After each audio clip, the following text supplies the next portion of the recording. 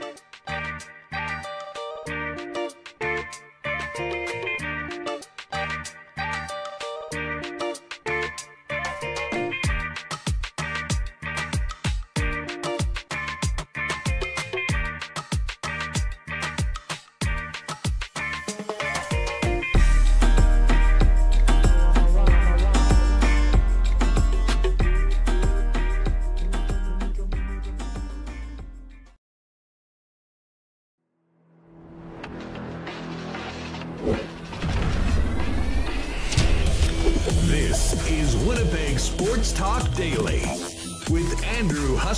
Paterson and Michael Remis.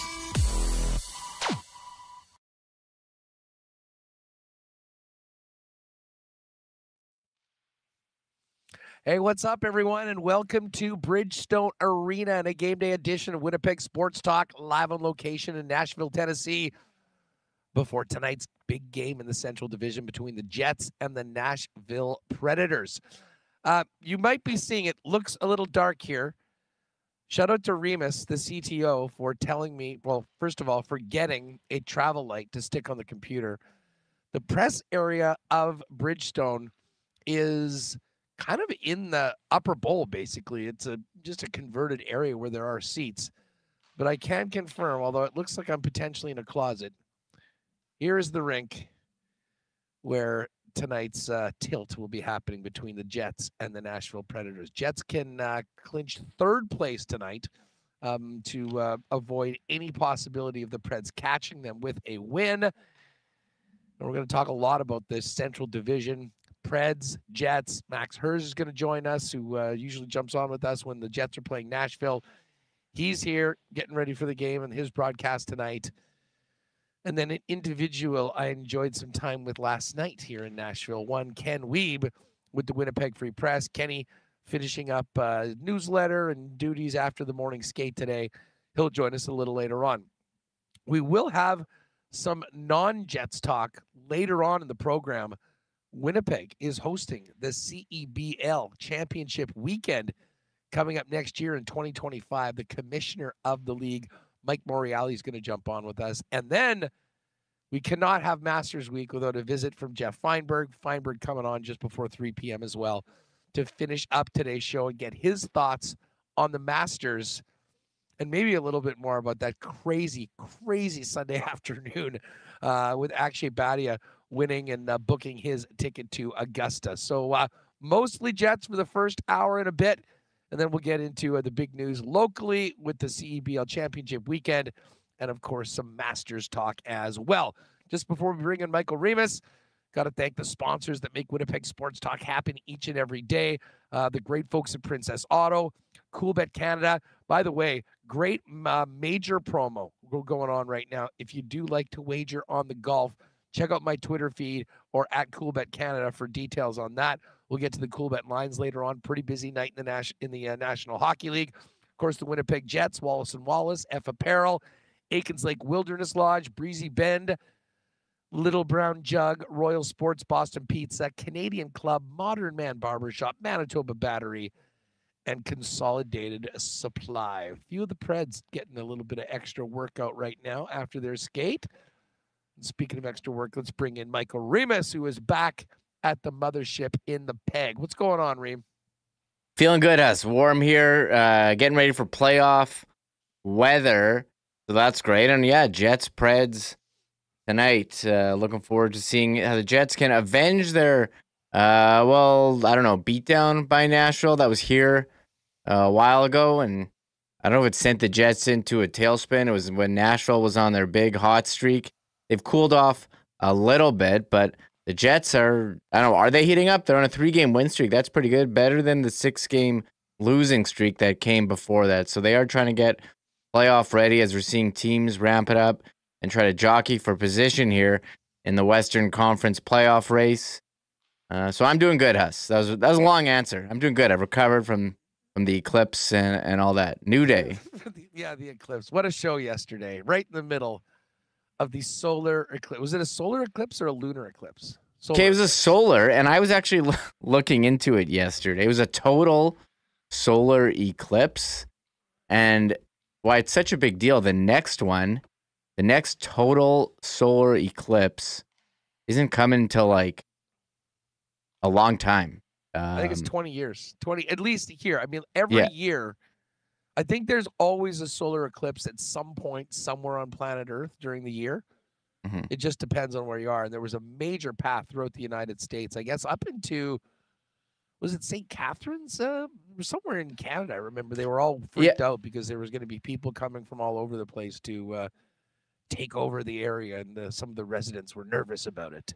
Yeah, and so I guess you know we're in an area where we didn't get like the full eclipse. I was also in a in a basement. You know, I saw like a lot of productivity was lost in the states to people watching the eclipse. Like I didn't lose any productivity here. I was trying to look out the window. Is it dark out there? Is it dark? And we watched the we pulled up the NASA stream. So uh, people are saying the next yeah total one is no no the next partial is twenty forty four, but like total that was full coverage. So it looked pretty cool where you could get it.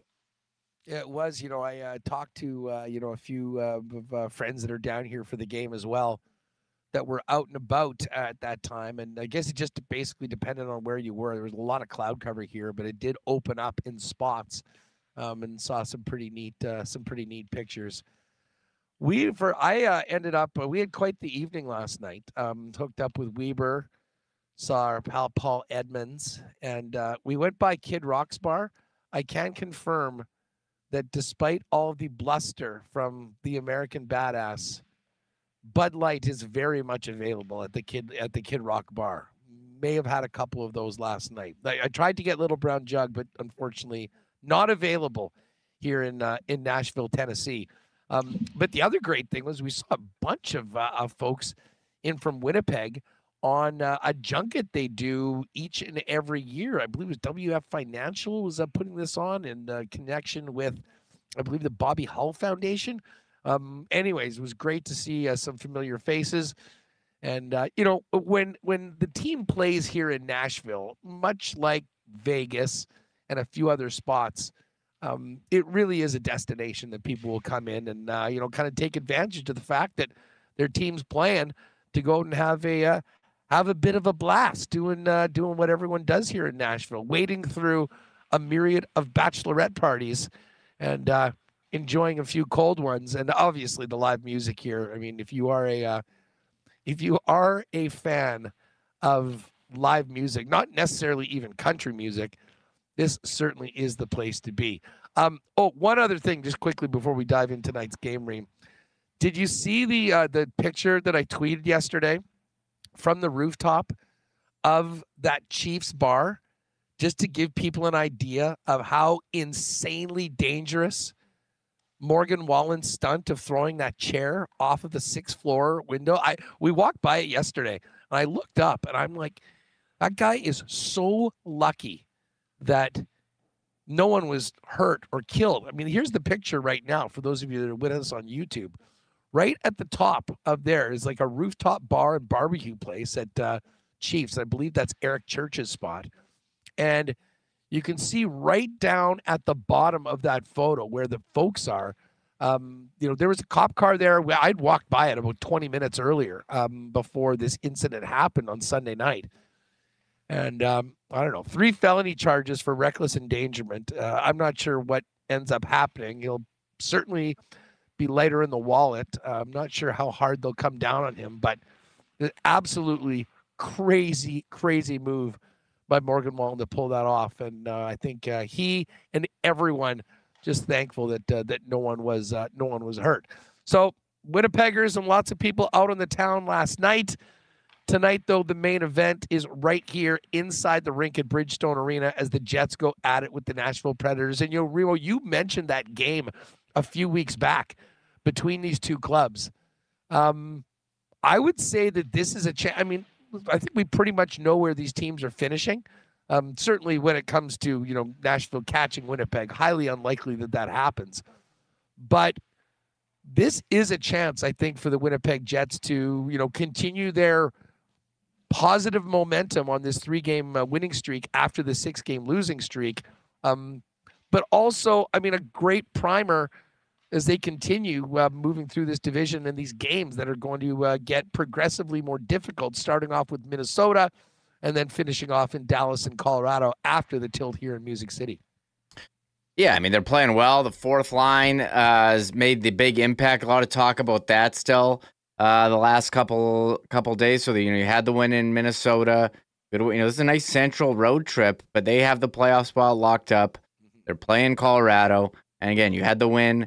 Uh, L.A. very nice win, good performance from Cole Perfetti, and nice performance. So there was a bit of a lull, but you were able to clinch against Calgary. So good opportunity here to get your game right with some some quality opponents in Nashville, Dallas, Colorado, and then you return home for the final two against Seattle, Vancouver. And I do wonder what the lineups are going to look like for that one. Vancouver, they had a big win yesterday against uh, Vegas. You know, the trying to solve the seeding issue with the uh, the seeding in the Pacific Division, but the Central Jets, Colorado locked in two three. We don't know which is going to be which, but seems as Dallas has number one. So nice Central Division. Nashville, they're you know they're battling for their seeding as well uh, in the wild card spots, and also trying to clinch a playoff spot. So uh, big one tonight in Music City. As you know, it's well, not just a name, know. You know, it, it it's not Smashville, Cashville, Nash Vegas. It is one of the cities that has the most um, nicknames, if you will. Um, bottom line, well, tonight it's uh, it is all about Jets and Preds tonight. And this building, if you've ever been here before, a great, great atmosphere in Nashville. They uh, they do it right, and um, you know, one of the things that we've talked about, you know, the um, game experience in uh, in Winnipeg. Um, you know, adding, you know, the building's so small, it's difficult to find a spot for musical acts. Not a problem here in. Uh, actually, I'll show you guys this. Not a problem here in Nashville. Um, as you can see, the uh, the the stage. I'm not sure if that right right there in the middle is the uh, the Ford band stage. And that's kind of what happens here at intermissions, and certainly uh, certainly before. Oh, you just unplugged just, yourself. I just did. Hold on a second here, Reem. That's okay. Give, give me a moment here. Here, before you do, I can go over the uh, notes here from the morning skate. Uh, yeah, do that. Ken Wiebe tweeting out, he's there and he'll join you later. He's tweeting out Sean Monahan, Adam Lowry, Tyler Toffoli, and Neil Pionk exercised the option this morning, took the optional. Connor Hellebuyck starts in goal for the Jets. Preds will go with Juuse Saros. And there was some good news about Nino Niederreiter. We knew yesterday he was going on the trip, and the Jets posted a beautiful picture of him in his um, I guess, airplane outfit heading out on the road trip. So that was a positive that he was featured. He took a light skate with Rick Bowness saying after, really no timeline for this. They're not going to rush anything. They can take their time. Sounds like not serious. I mean, a guy got cut. Sounds like he he's going to be back. I think ready for playoffs, us, but they're taking their their time with Nino Niederreiter. Maybe he's back next week. You get a regular season game in, but uh, he's not in today and they'll reevaluate going forward. Uh, I see you're back. Yeah, we're back. The camera's back in. Apologies on that. Just fired up to show everyone the sounds. It's too bad I can't have this as at the background. One other bizarre thing that is happening, and this must be some sort of cooling cooling issue, but they've got the banners of all of the teams. And for whatever reason, the Ottawa Senators banner just is it looks like it's in the middle of a hurricane or something. Every other one is quiet, and then it is just bouncing back and forth between the Montreal Canadiens and the Tampa Bay Lightning banners at the start. Um, but back to um, Nino, of course, Nino's got a lot of fans here in Nashville from his time here with the Predators. Um, like they certainly don't need to rush him. And we'll get to this with Ken later on. Assuming Nino is healthy and back in very soon, we're going to see um, the, the big question is who that 13th forward is. I mean, we had a good conversation yesterday with um, with Hammer about where Cole Perfetti fits in, considering his recent play, much improved after really hitting the wall. Um, that I'm not even sure that that's entirely known yet by the guys that make the decisions, Remo, as opposed to uh, who's going to be uh, who's going to be there. Yeah, the big question is where's Cole Perfetti going to fit in, and do the Jets feel like they can play him on the fourth line in the playoffs if he doesn't play that you know grinding style game. You know he's we know he's a smaller guy. You know maybe not um, you know the guy who's going to go battle in the corners for the puck. He's more of a playmaker, and so where does he go? And look, he took some time off. And I was talking with a commenter yesterday, Hus, in the comments section. I do uh, check those. And I mean, Cole, I thought he got off to a great season, a great start, and he really did hit a wall, as Rick Bowness said. And uh, but he came back and he was very good in that game against LA. He's got five points in his last six games. Now I know three of them were in the LA game, but can they play him? And you know, where are Toffoli and Nino Niederreiter? going to wind up. Um, you know, Nino's been on that spot with uh, Lowry and Appleton all year. Um, you know, I'm I'm not sure how you fit this. I guess the easiest one would be to sit Perfetti unless there's a top six and put um, you know move up to Toffoli there and put Niederreiter back. But I don't know. Toffoli wasn't really going with Connor and Monahan, so maybe this is something we'll just be going with on a game by game basis. And I know. Would they even look at like would they separate Lowry and Appleton and have a third line of Toffoli, Lowry, Niederreiter? Like I'd almost like to see that and keep per- Perfetti with Monahan and Connor if that's working. Um, and then you you know you have to sort out the fourth line between Appleton, Barron, Namestnikov, Iafallo. I want I wonder how that would look. Uh, so that's yeah. Well, I mean, listen, the third line. We've talked about this all season long. I mean, I said at the beginning of the year, I thought they would end at some point with Alex Iafallo playing with Lowry and Niederreiter. That hasn't happened. And listen, I know sometimes Mason Appleton takes some shots, but the guy is having a career year. He's been scoring, he's been putting up assists, and that line has been so good and so consistent for the most part. And it's less about the scoring and more about the matchups as the shutdown line listen, I think Alex Iafallo can do that gig as well. Um, the bottom line, though, and again, touch wood, the Jets right now, with the exception of Nino, who will be back soon, fully healthy in the forward group department as well as the defense, and uh, that's a very, very good place to be heading into the playoffs. Although you know that that potentially won't last for uh, won't last for a long time. Um, you mentioned Hellion tonight um, once again for the Winnipeg Jets, Remo, and you know we're going to talk to Max Herz in just a minute about uh, the latest on the Preds in this matchup tonight. Um, you'd be hard pressed to find many better goaltending matchups all season long than the one we'll see tonight with uh, two of the beasts of the Central Division, the West, and the league, frankly, in Juuse Saros and Connor Hellebuyck. Yeah, Nashville. I mean, they've got a history of having great goaltenders going back all the way. Uh, Tomas Vokoun, kind of underrated. Pekka Rinne. I mean, they got the Pekka Rinne statue there, and now Juuse Saros. Now they got off to, I mean, a really uh, poor start in Nashville, but we all know they heat up went on that big winning streak, and um, Juuse Saros certainly a big part of that. Uh, he just finished up March, or sorry, big February. What six and two, nine two six save percentage, two forty six goals against. You know, overall in the year, his numbers not the most spectacular. Nine oh eight save percentage, two eight zero goals against. But he's a guy they can certainly uh, rely on and be a big, you know, be a big factor for them. Um, you know, I, I don't know if anyone really saw this coming from Nashville, but uh, they certainly turn it up, and goaltending has been a part of that. Yeah, you know it. Um, listen, we're going to hear from Bones uh, a little bit later on. We got some of the audio from yesterday. He spoke as well after the morning skate. Weaver's going to jump on with us in about half an hour or so, but in just a couple minutes, we're going to welcome in our pal Max Herz. Great to see him in person here at Bridgestone Arena. Um, just before we do that, spring is here, gang, and that means it is time to get ready for all those projects you've been planning, whether for your home property or commercial Consolidated Supply is ready to go for you. They're the leaders in irrigation systems in Winnipeg and Manitoba.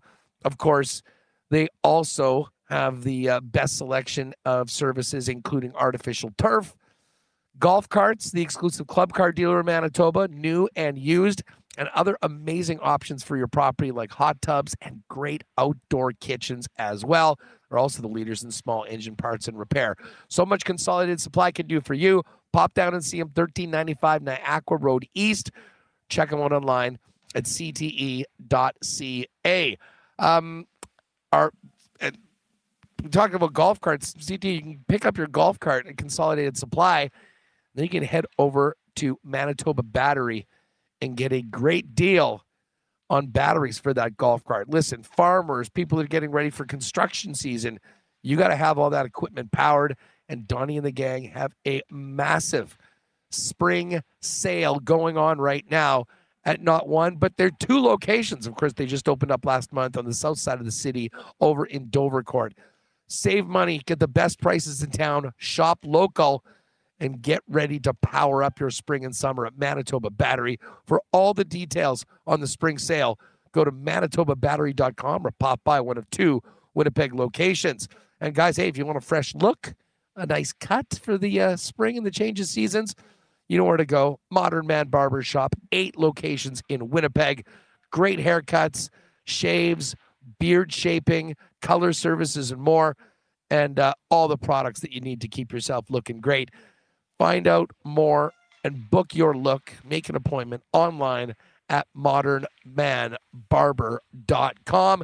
Give them a follow on Instagram as well at Modern Man Barbershops. And uh, just before we bring in Max, we will see whether Jet fans are cheersing a victory tonight. Um, they'll worry mostly about doing that in the playoffs against most likely the Colorado Avalanche. Uh, but when you think about something great to cheers with or put in, of course, it's Canadian Club, Canada's favorite Canadian whiskey since 1848. And we'll also be enjoying Canadian Club at Princess Auto Stadium this year as CC is the official spirit of the Winnipeg Blue Bombers. Pop by, check it out next time when you were uh, popping by your local Manitoba liquor marts. All right, let's get uh, let's get our pal Max Herz in. Uh, great to see you in person, my friend. Great What's to be here, going Thanks for uh, thanks for coming down. We're happy to have you. Hey, it is. Uh, and listen, it's always fun. I mean, you don't have to twist people's rubber arm to come down to Nashville, Tennessee, and have some fun. Um, and obviously, it's music, it's partying. But tonight, uh, we got a heck of a matchup between two teams that are getting ready to uh, try and be at their best come game 83. Yeah, this is uh, second to last home game for the Preds. Last one is this Saturday against the Blue Jackets. So uh, not quite the same caliber opponent as we've got here tonight with the Jets.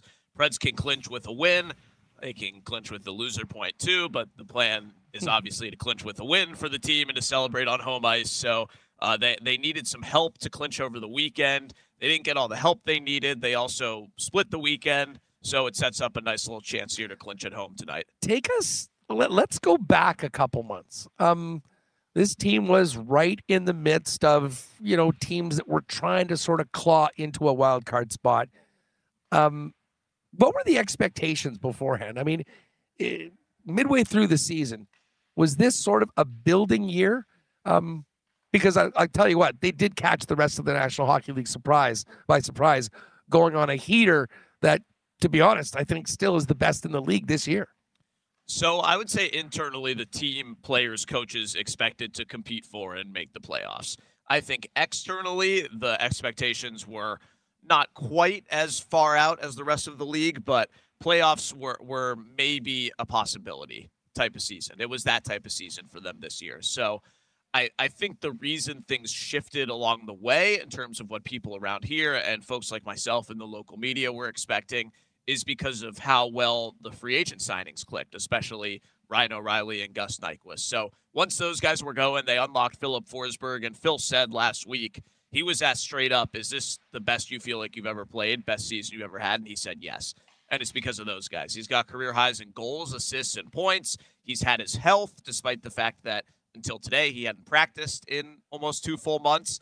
But because of things like that, it quickly became a hey, playoffs are a possibility. Though I think the the bottom of the West playoff table is much better than the bottom of the East Oh, playoff it's table. not even which, close. Yeah, maybe a little obvious, but um, it's uh be, because of that they were able to compete more than I think anyone outside of the team themselves would have expected or You- asked for. You mentioned Ryan O'Reilly, and I mean, listen, we've seen this guy for a long time. Obviously, winning the cup with the St. Louis Blues.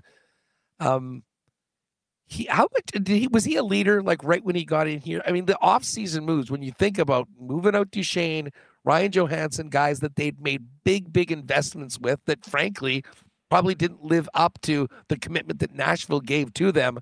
Um, they paid a bit of a price to do that. but then bring in O'Reilly in a different role. He seems to be picking up exactly where he was as one of the best two way forwards in the game, which you might not think of, you know, a, a super elite, high octane offensive center, but this is a guy that helps you win games. And uh, from the outside looking in, he seems to have been a perfect fit here in Nashville. Yeah, it it couldn't have been more perfect. And yes, he was very much a leader right away. The timing of when he was signed played a big part of that because, as you said, there were some long tenured players who left the team both this past offseason and at the 2023 trade deadline. So I, I, think the thing that really stood out to me, it wasn't a surprise, but he wore an A from the beginning. When they made that announcement in September, Ryan O'Reilly and Ryan McDonagh were the two alternate captains this season, and those haven't rotated. They haven't caught anybody else, with the exception of when McDonagh missed some games and Colton Sissons got one. But it's it's those two guys. The former captains other places are alternates, and O'Reilly got to be an alternate from the first game with the new team, and he's played every game this season, so he hasn't given that up.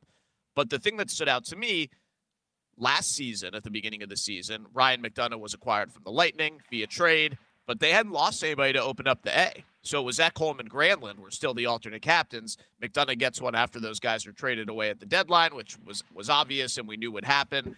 But O'Reilly gets the chance to wear the A right from the beginning, and I, I help that I think that helps explain why he's been so impactful in that way. The timing is a big part of it. Well, and uh, and you mentioned, I mean, Filip Forsberg. I mean, these guys uh, seemingly clicked right away, and I mean, Forsberg signing him was very significant for the organization, considering the moves that they did make moving on from the centers that we talked about before. Probably very difficult for the organization to trade Mattias Ekholm, considering what a beast he was on the blue line for a long time. But to get that deal, how significant was it that they kept Filip Forsberg long term, probably a predator for life?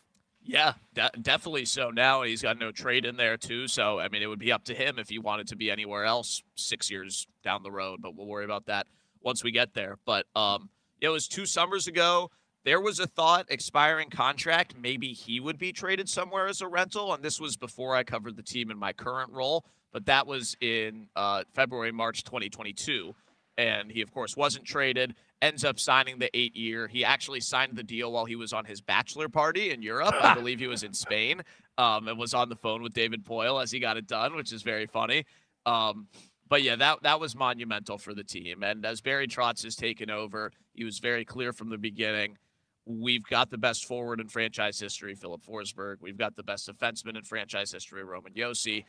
And we got the best goalie in franchise history, Juuse Saros. And the standards are high there, especially on forward and on D for, for the guys who brought those guys up. Shea Weber brought Roman Josi up. Pekka Rinne brought Juuse Saros up, and they're incredibly close.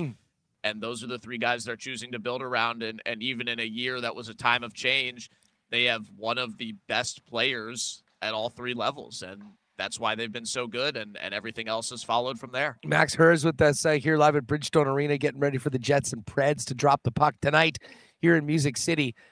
You know, you were mentioning Roman Josi, and I remember being here with uh, our old pal Gary Lawless. We were doing the show on the road on a, a road trip at one point, and we were sit, sitting down hanging out with Stu Grimson, and we were talking about the Predators and we're talking about Shea Weber and just what a beast he was. And obviously, he had that crazy long contract. But you know, the the the consensus was that this guy was one of the best defensemen in the entire National Hockey League.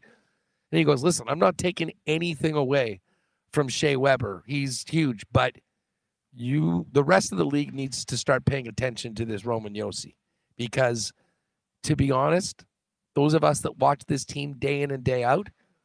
He's the best defenseman on this team. And to be honest, is right up there with the best in the league. This was very early in his career, and we knew what happened later on with the trade. Um, even even with the accolades that Josi has received, I'm still not sure he gets the appreciation around the National Hockey League that he probably should get as a truly elite, top of the table defenseman. Yeah, one Norris in 12 seasons is not enough for what he's won so far. Uh, that the one he won was 2019-20, and then 21-22 he had 97 points as a defenseman, most points in franchise history. Filip Forsberg is eight points away in the last four games from passing it, so that record may hold up. But it's the only 90-point season in Preds history, and he did it as a defenseman. While all of the forwards around him had career high numbers because of him. And the same thing is happening right now with Forsberg again. And Nyquist has a career high in points, and O'Reilly's scoring like crazy. And it's all because of Josi in terms of how much he generates and the types of things he does in terms of puck movement, cycle, power play running, entries, things like that. So uh, I, I really hope the last couple months have been enough to get him as close to the Norris as he possibly can.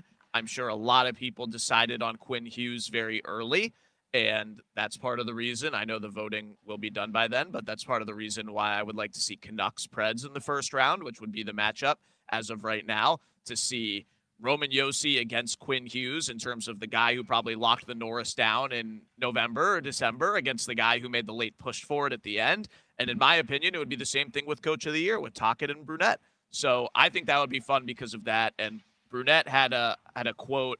It's probably about three or four weeks ago now after a practice, asked about Josi's Norris candidacy directly, and he Quinn Hughes was not in the question.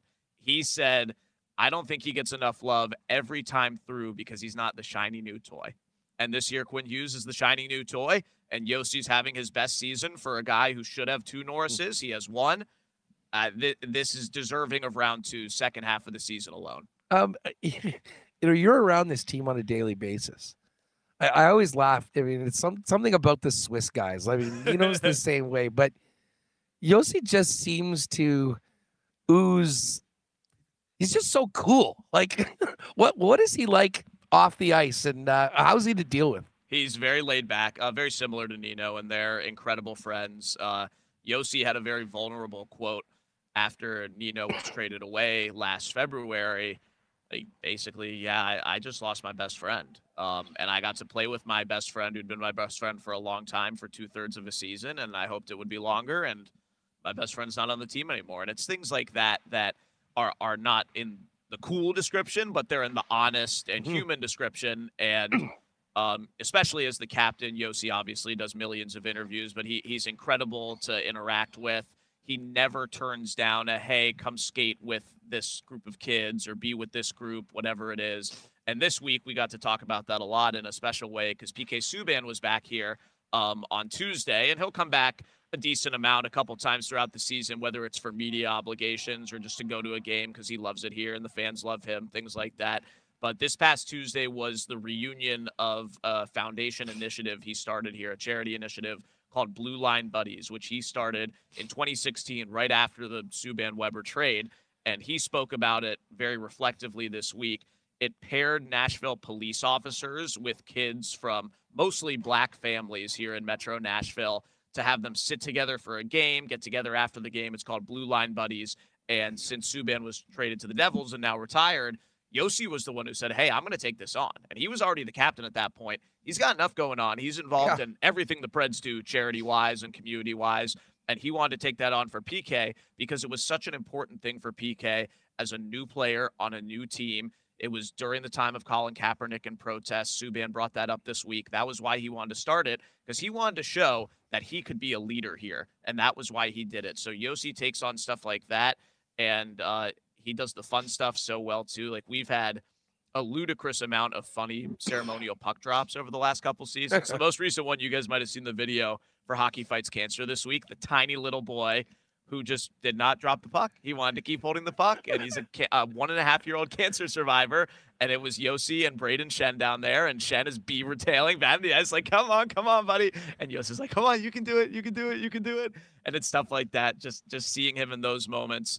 Uh, a minute before a massive game against the Blues, like the human element. So uh, you're right in everything you said. You know, um, he, he is and again, he just, I mean, maybe it's being in the market, certainly Canadian media, probably not in Toronto very much.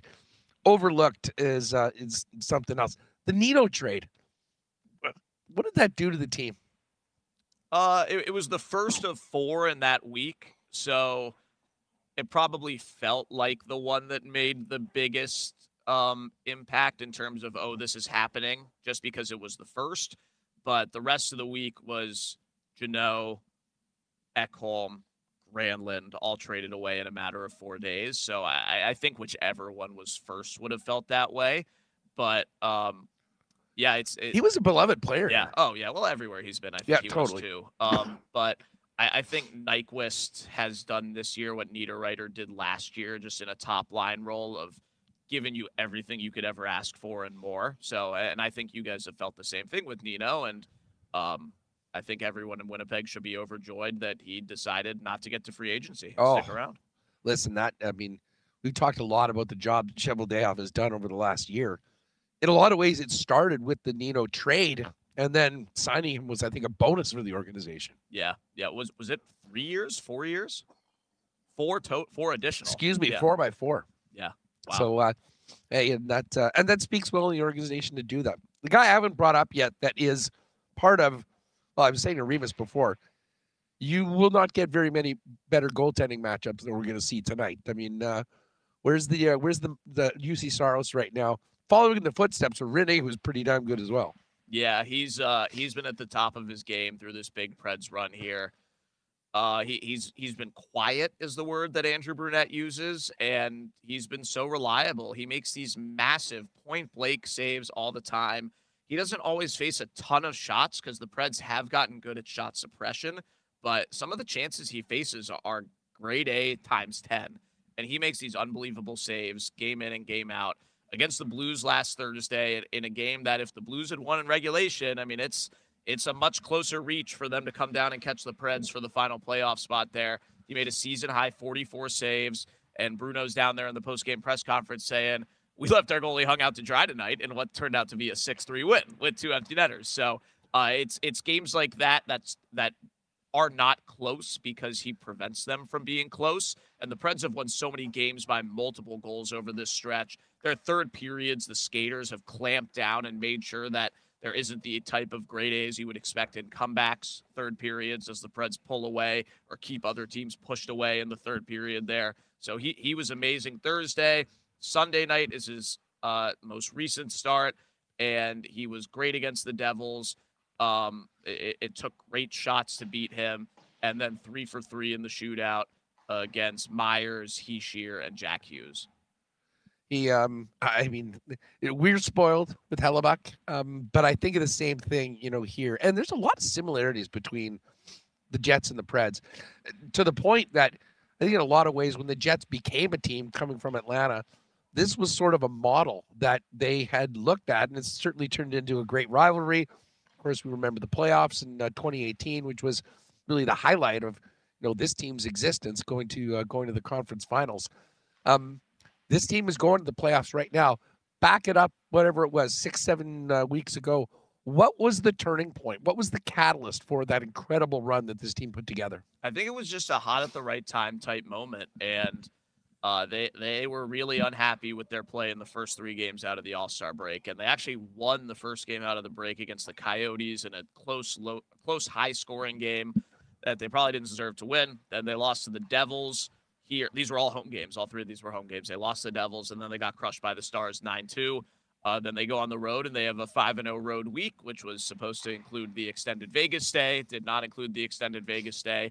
and then they continued to go 11 0 and 2 in their next 13 for an 18 game point streak. So uh, the lineup clicked. It's uh, they got hot at the right time, and I think it's a product of, of the new system and everything Andrew Brunette has put in in terms of the pressure and the principles and things like that coming into effect and the lines being in the right balance where everybody's able to produce that the 5 and 0 road week that started in St. Louis then Vegas, LA, San Jose and Anaheim they won all of those games by multiple goals they did not trail at any point in five straight road wins which is insane so obviously they scored first in all those Yeah. games and all 12 forwards scored a goal at some point in those five wins so that was when it's like, oh, it's it's not just the top line anymore because it was for a long time, but they were doing enough to win games. It was the defenseman generating, every forward was scoring, and it wasn't just Forsberg's line that was being leaned on at that point, and that hasn't stopped. There have been very few lineup tweaks.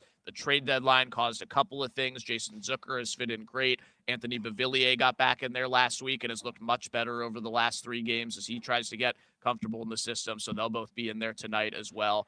Um, but they, they made the they made two nice little buys with Zucker, who they got really cheap for a Oh, sixth round pick because nobody else could deal. take on his prorated. Yeah. Um, and that and Beauvillier, who I think has looked good in spurts. Um, so they've been great. The biggest move was a sell move. Yakov Trenin for a third round pick. They said, hey, we know we're not going to sign this guy as a pending UFA. Um, and they have people in the minor leagues. Zach L'Heureux is the guy that they're talking about who could fill his spot cheaper long term going forward. So uh, they decided to trade him, and they kept Carrier, who was the other pending UFA, who they think they have a shot to keep. But Barry Trotz also said trading him wouldn't have been worth the potential upsetting of team chemistry with his partnership with Jeremy Lauzon. Yeah, there's a lot of folks. I mean, we were talking about, and again, this was a little bit before they, you know, when we weren't sure whether they were going to potentially be sellers. That was a guy kind of under the radar that I think a lot of teams would have been interested in and uh, do it. Speaking Yeah. of deals, Well, how's Colin Miller healthy scratch tonight, right? uh yeah, yeah. Yeah, He, so. he's been I mean, he's kind of come in and out of the lineup. They just listen, touch wood. They've been very, very healthy right now, especially on the blue line. Um listen, a good guy to have since it's good insurance, right shot, you know, can fire the puck. But I think they're going on. They're looking at Logan Stanley a little bit more. He's a guy that had been underwhelming, to be honest, for most of his time as a Jet.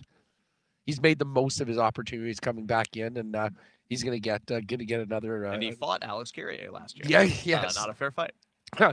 Um, you know, we talking about these deals. How's uh, how's Barry Trotz doing? He's a he's a beloved individual back in Manitoba. Uh, He's beloved here too. So uh, yeah, we'll we'll fight you guys for him for sure. But um, he has handled everything the right way this season in terms of his job, in, in terms of public facing stuff, interviews, the way he treats people.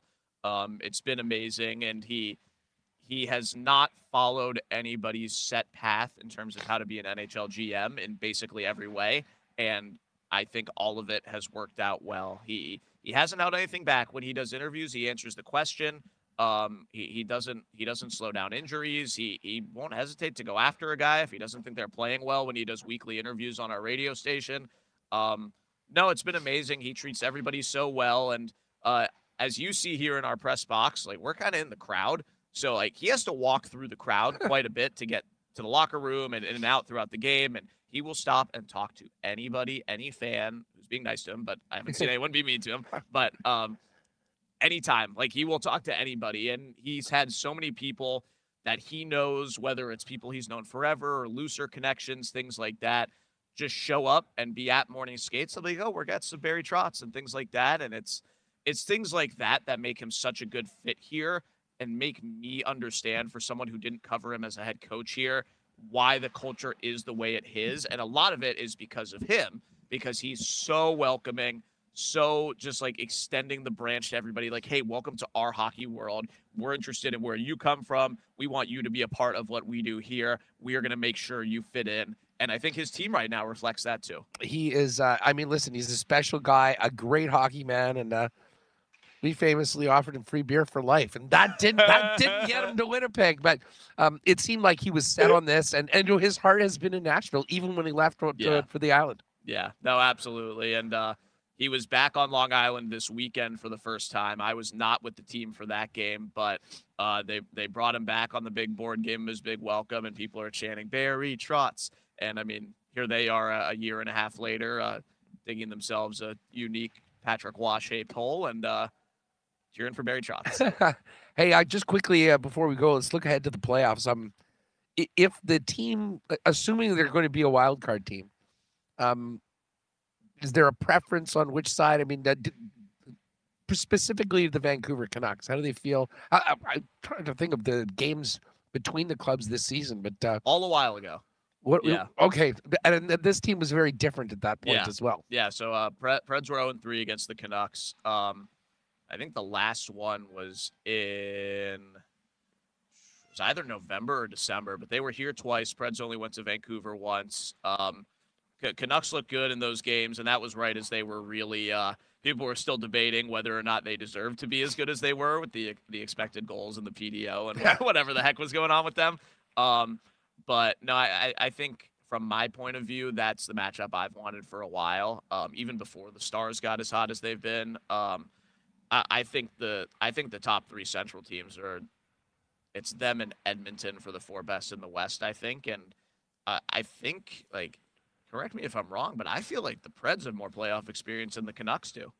Oh yeah, that's uh that's another reason I, I think that could work out well. Um, Oilers in the second round, if the Preds were to beat the Canucks, uh, that would be a tall task. Um, but I mean, I, I don't think the Preds are at the point where they want to be where they're thinking about it anyway. So um, I would like to go back to Vancouver. So that's uh, part of the reason why I wanted that one for a while. But like I said, the storylines, like I, I just think that'd be such a fun series.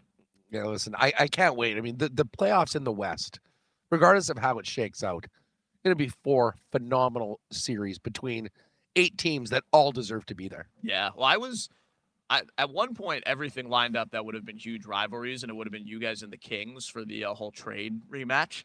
Um, but I know that's not going to happen anymore. But uh, the the way it had lined up, what was it? It was Stars, Avs, you guys and the Kings, Preds and Canucks, and then Oilers, Knights. Like that would have been bloodbath first round series, and I don't think any of those are going to happen now. Bring round. it on. Well, I'll tell you what, dude, we're going to have a heck of a matchup tonight. I mean, straight up pick them uh, in this one.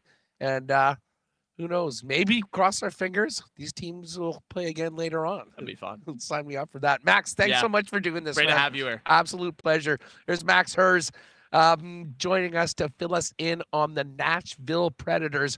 We're hosting the Winnipeg Jets tonight. Uh, Wiebe's coming up in just a second. First off, let's uh, cheers to our friends at Little Brown Jug. We're not just for the showboats or the champions. We're here for the good ones. The ones who work hard and show up for others not to get recognized, but because it's the right thing to do. We'd like to think that our good intentions show up in our beer. We keep working to perfect it, not because we want fame or fanfare, but because you deserve it. 1919, the good you deserve.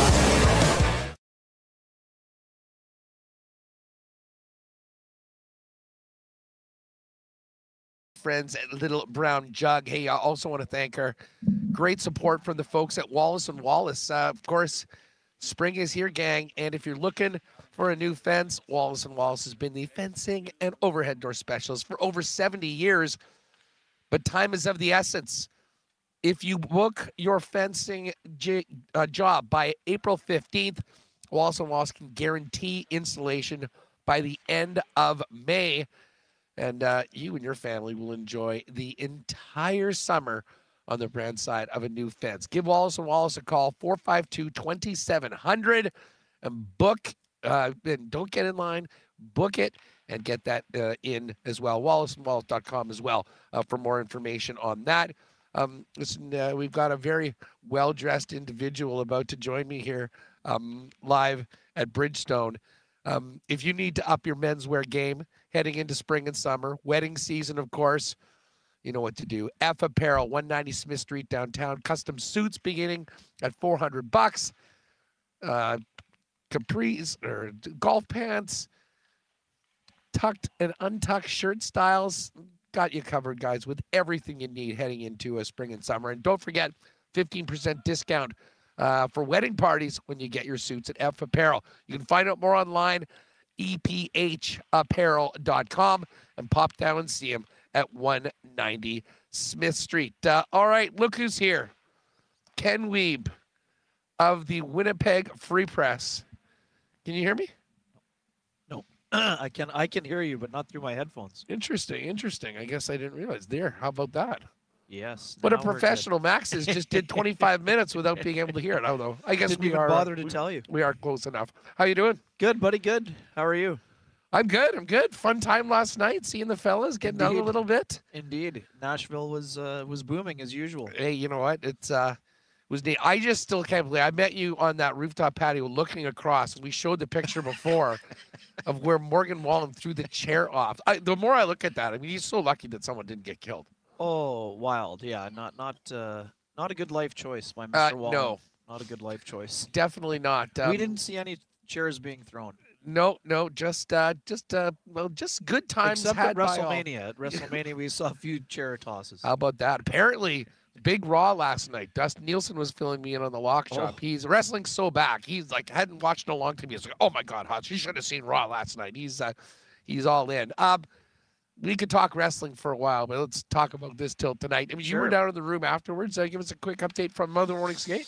Yeah, uh, Logan Stanley will be staying in on the back end on the third pairing with Dylan Samberg. Otherwise, no changes uh, to the lineup. Uh, there was a Nino Niederreiter sighting. Uh, went out for a quick twirl at, at the end of the morning skate. Now, it was more, I would say, it was more leisurely slash gingerly Huss. Uh, but it was important for him to take the next step and to get out there on the ice. Uh, he looked, you know, pretty pretty good moving around. But again, uh, Rick said afterward, there's no timeline. But when pressed, he, he said he wanted to get him in a full practice, and that full practice will be on uh, Friday in Denver. So I would say the earliest he would return Huss would be Saturday against the Colorado Avalanche, but it's also possible they wait until the Tuesday game against Seattle. Depends how the you know how the body feels afterward after he goes today, gets some treatment and everything else. But I would say it was, it was a positive development considering Rick said yesterday to the folks in Winnipeg that were there, he wasn't sure when he'd be on the ice. So I would say that looks like a sign of progress for me. Uh, line, no changes to the lines. Uh, I know that's been a topic of, uh, of great debate here the last little while, but uh, yeah, they're going to keep the same lines. Will they keep them through the game? Now that will be the next question that we ask. But I, I think they're going to give him a little bit more run. I know that we're always looking between the lines, and you know Rick did say that he needs more from that top line uh, in terms of you know chances generated and chances converted. Uh, but it's definitely going to start that way, and I think they'll give him a little bit more run, and, and they should. I mean, but eh, when Rick says they haven't been playing like they were in December, that's true. But I mean, some of it is they're under some of the underlying numbers are still still solid. Well, it's a heck of a lot better than the line that he had uh, in that spot before. I mean, I don't think there's can even be an argument on that. No, that's fair. I, I just think that the I'm just still not sure that it's the optimal trio. Now, again, I'm not sure what the optimal trio is, and I also too some folks are, are making a big deal out of saying, well, yeah, they're they're they're breaking even, and that hasn't always been the case for um, Kyle Connor and Mark Scheifele. We know that. Uh, but I would also say if we're if we're looking at around the around the Central Division, Huss, like you just were, um, the goal of your top line should not be to break even. Like your top top line has to be a dominant line, uh, and based on well, how come things... playoff time, if you told me that the Jets could even up their top line against the Avalanche top line, right? But I think they're set up to win. No, but they're probably not playing against each other all that often, right? But sure, I, I well, I they will be in Colorado. No, tr- true, true. uh, what I mean is that Jared Bednar is not going into the series telling Nate MacKinnon, "I would love you for you to break even with Mark Scheifele." That's not how their top line operates. Oh no, no, I'm speaking from a Jets no, perspective. No, no, and and I get that. I'm I'm just saying in terms of of perspective. I know that there was some blowback uh, on the Twitter machine this week uh, when I suggested I didn't think that that line was playing particularly well all the time. I, I've liked parts of it. I just don't see the cohesion that we saw in December when they were taking the other team's lunch money essentially in a lot of those games. Now, again, did I expect that to happen in three games? No, I did not. So it's not surprising that it hasn't just snap your finger and worked. I think that Nikolai Ehlers is you know still flying a lot, uh, doing a nice job on a lot of fronts. But the most concerning thing for me, Hassan, and I know it's not everything, but Mark Scheifele one shot in three games that's not going to work out for the Winnipeg Jets when they're playing. And again, we know he's doing other other things in in, in the game itself. And it, the most important thing for Mark is that his 200 foot game I think has still been solid. But we talked two weeks ago about Mark needing to be 2018 Mark Scheifele. It's tough to score 14 goals and get 20 points if you're only having one shot every three games. And now again, this is just a little bit of a lull but it's something where he's going to need to elevate. And, and the other thing that I mentioned the other day too, Huss, Kyle Connor had a beautiful backdoor tap in that was created by Sean Monahan. He also didn't have another shot on goal in the game. So now again, uh, you need your fourth line to carry you if you're the Winnipeg Jets on occasion, and they did carry them in that game on Saturday against the Wild. They carried them with three three goals, one from each player. So I just think that the top six has room for improvement. And that's probably the case with most top sixes around the league. But it just feels like, you know, if we're talking about Dallas and Colorado, those teams are not wondering who's going to be playing on their top line or their second line going into the Stanley Cup playoffs. So the fact that it's it's gone this late into the season without a definitive answer probably not ideal for the coaching staff. No, I, I and it's funny. We were talking about how deep this team is, and how the fourth line and the third line have certainly been carrying their weight. Yep. Um, to your point, I mean, having that uncertainty is probably not something that Bones is fired up about right now. Um, and I guess, well, what are you? What are they trying to get out of these final five games of the regular season? Yeah, I think they're trying to get second place in the in the in the Central Division, which would allow them to have a little bit of uh, matchup manipulation for that matchup with Nathan MacKinnon in that line uh, that is so dominant. Now, just briefly, uh, for those folks who didn't see it, it, it sounded like Jared Bednar told reporters in Denver that uh, Mikko Rantanen was on the ice. I think he is in concussion protocol, but uh, the fact that he was able to get back onto the ice so quickly, Huss probably, you know, would lead someone to believe, you know, again, head injuries, setbacks, you know, you do, you never really know for sure. But for some folks who are wondering if maybe Rantanen might not be ready for Game One, I would say the fact that he's on the ice so quickly after probably uh, means that that's not the case. But again, what are the Jets trying to accomplish? They need to be sound, a sound defensively. They need their special teams to improve dramatically, probably at least incrementally, if not dramatically. And at least one of those units has to be going us. You either have to have the power play going, or you have to have your penalty kill uh, operating a level that's not around 76%.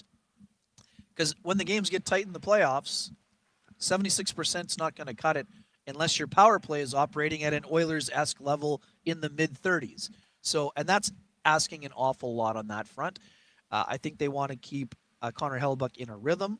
I know this was one of the games that I thought might be a Laurent Brossoit game, Huss.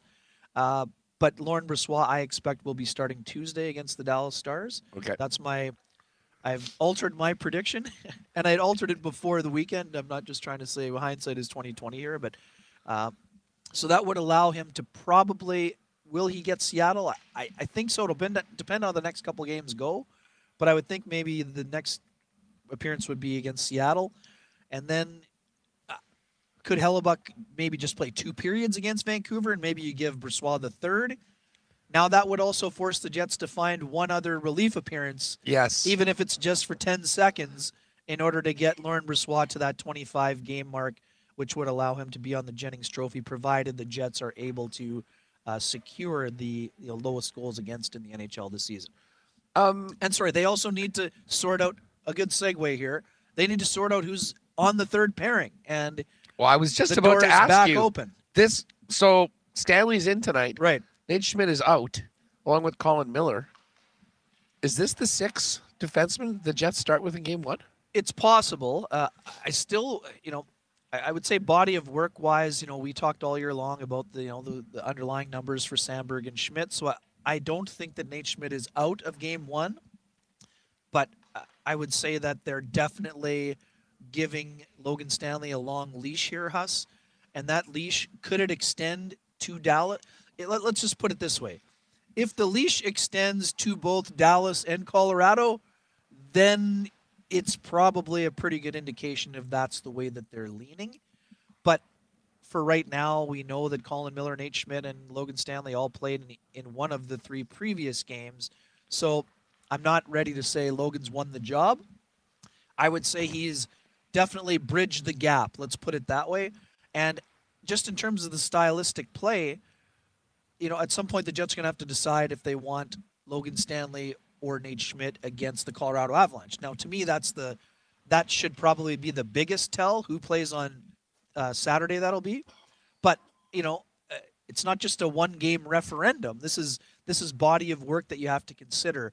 But what we do know, Huss, is that the Jets are impressed by how Logan Stanley has handled this tough situation of being out a lot, and they think he's probably playing his best hockey of the season. So, I mean, you'd want to be playing your best hockey at the season at the biggest time of the season. Speaking of that, you were at Xcel Energy Center. What did you think of him on Saturday? I, I liked his game. I mean, I, I it wasn't super flashy. I did, but there also weren't. He's not making. It a lot rarely of, is. th- There aren't a lot of errors being made either, Huss. Right, and That's the bottom line for him. for sure. I, I, to me, I think he's. I think he's skating well. That's something that you've really noticed, and Huss. That that's probably the most impressive part, because the bag skates are not fun for all people. For not for many people, they're not fun, but they are a prerequisite because even with the benefit of the conditioning skates, you still aren't in game shape. So to be able to translate that into your on ice performance is really impressive, and and it's something that uh, Logan Stanley, quite frankly, has done a very good job at. He's played a much more assertive game, Huss.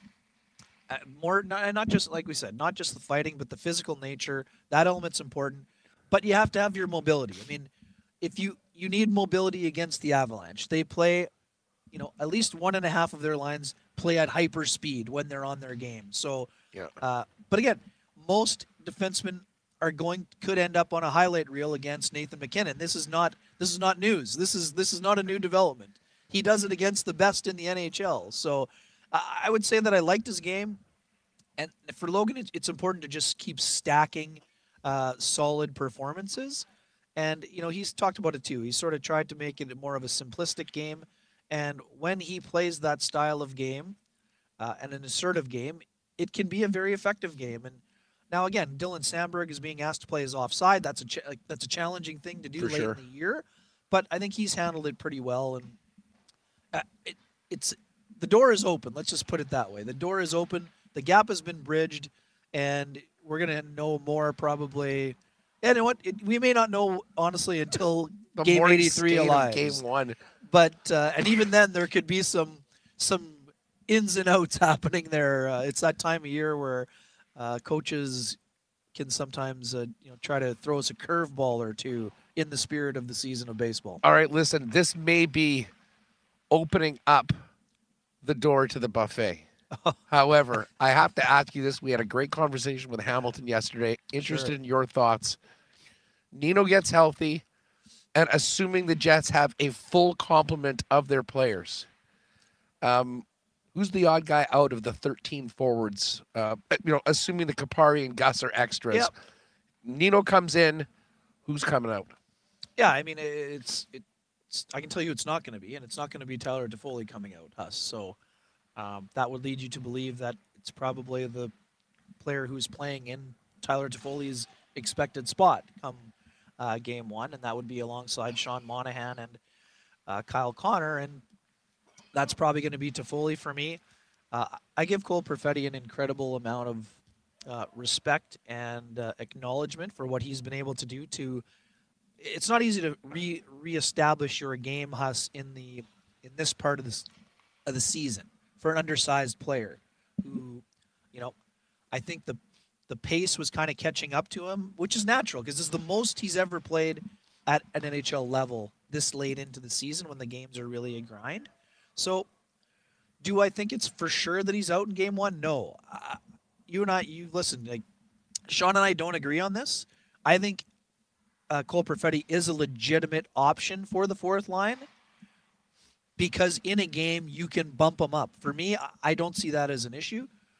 But I- think the most likely fourth line is going to be Morgan Barron, Vladislav Namestnikov, and Alex Iafallo. And I think that because Iafallo is on the top penalty killing unit with Adam Lowry. So He's built for the playoffs. Exactly, and I, and I had a great conversation with him today about that. For that'll be in the free press in the, in, the, in tomorrow morning and up later on today. His game, he can play with anybody, but he's the kind of guy that will score an overtime winner or a series clincher, or you know, if a team is down in a game, he's the kind of guy who's going to dig out the puck and find a way to feed somebody uh, on the back door or be Johnny on the spot for a big goal. Uh, you know, again, and Alex Iafallo is. A, it's been a long time since Alex Iafallo was a fourth line player. Like this is a guy who played routinely with Anze Kopitar, like on one of the top lines. So uh, the fact that the Jets have that luxury is important for them. But again, very similarly to Logan Stanley, Cole Perfetti is very much in a day-to-day battle. Like I said, it's not a referendum every night, but the margin for error for those guys to be in game one, rather than the players that are probably ahead of them on the depth chart, is razor thin. So, uh, you know, that means they they really need to be finishing the season strong, Huss, and I expect Cole to continue to play at a high level. I love.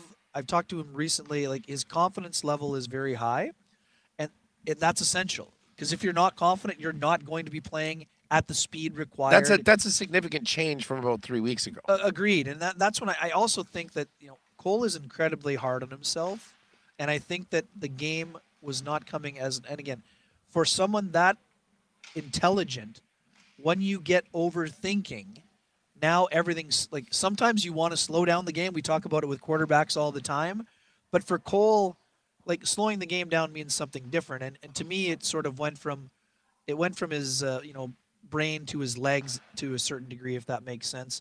I just don't think that he was moving at you know his anticipation is so strong, it allows him to maybe make up for the perceived skating, not a deficiency, but he's not a burner. So that means he has to get by with you know being alert, hockey sense, and anticipation. I think there was a stretch of games or Huss, when he went through the long slump that he sort of not lost his confidence, but his confidence was shaken.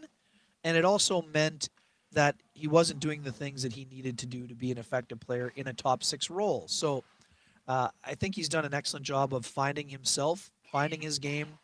And I expect to see Cole Perfetti in the playoffs. I'm just not sure it's going to be in game one. Yeah, I, listen, I Though think it still fair. could be. Again, and I'm not trying to sit on the fence here. I'm saying that it, it, the competition is legitimately still open, but I do think it's most likely.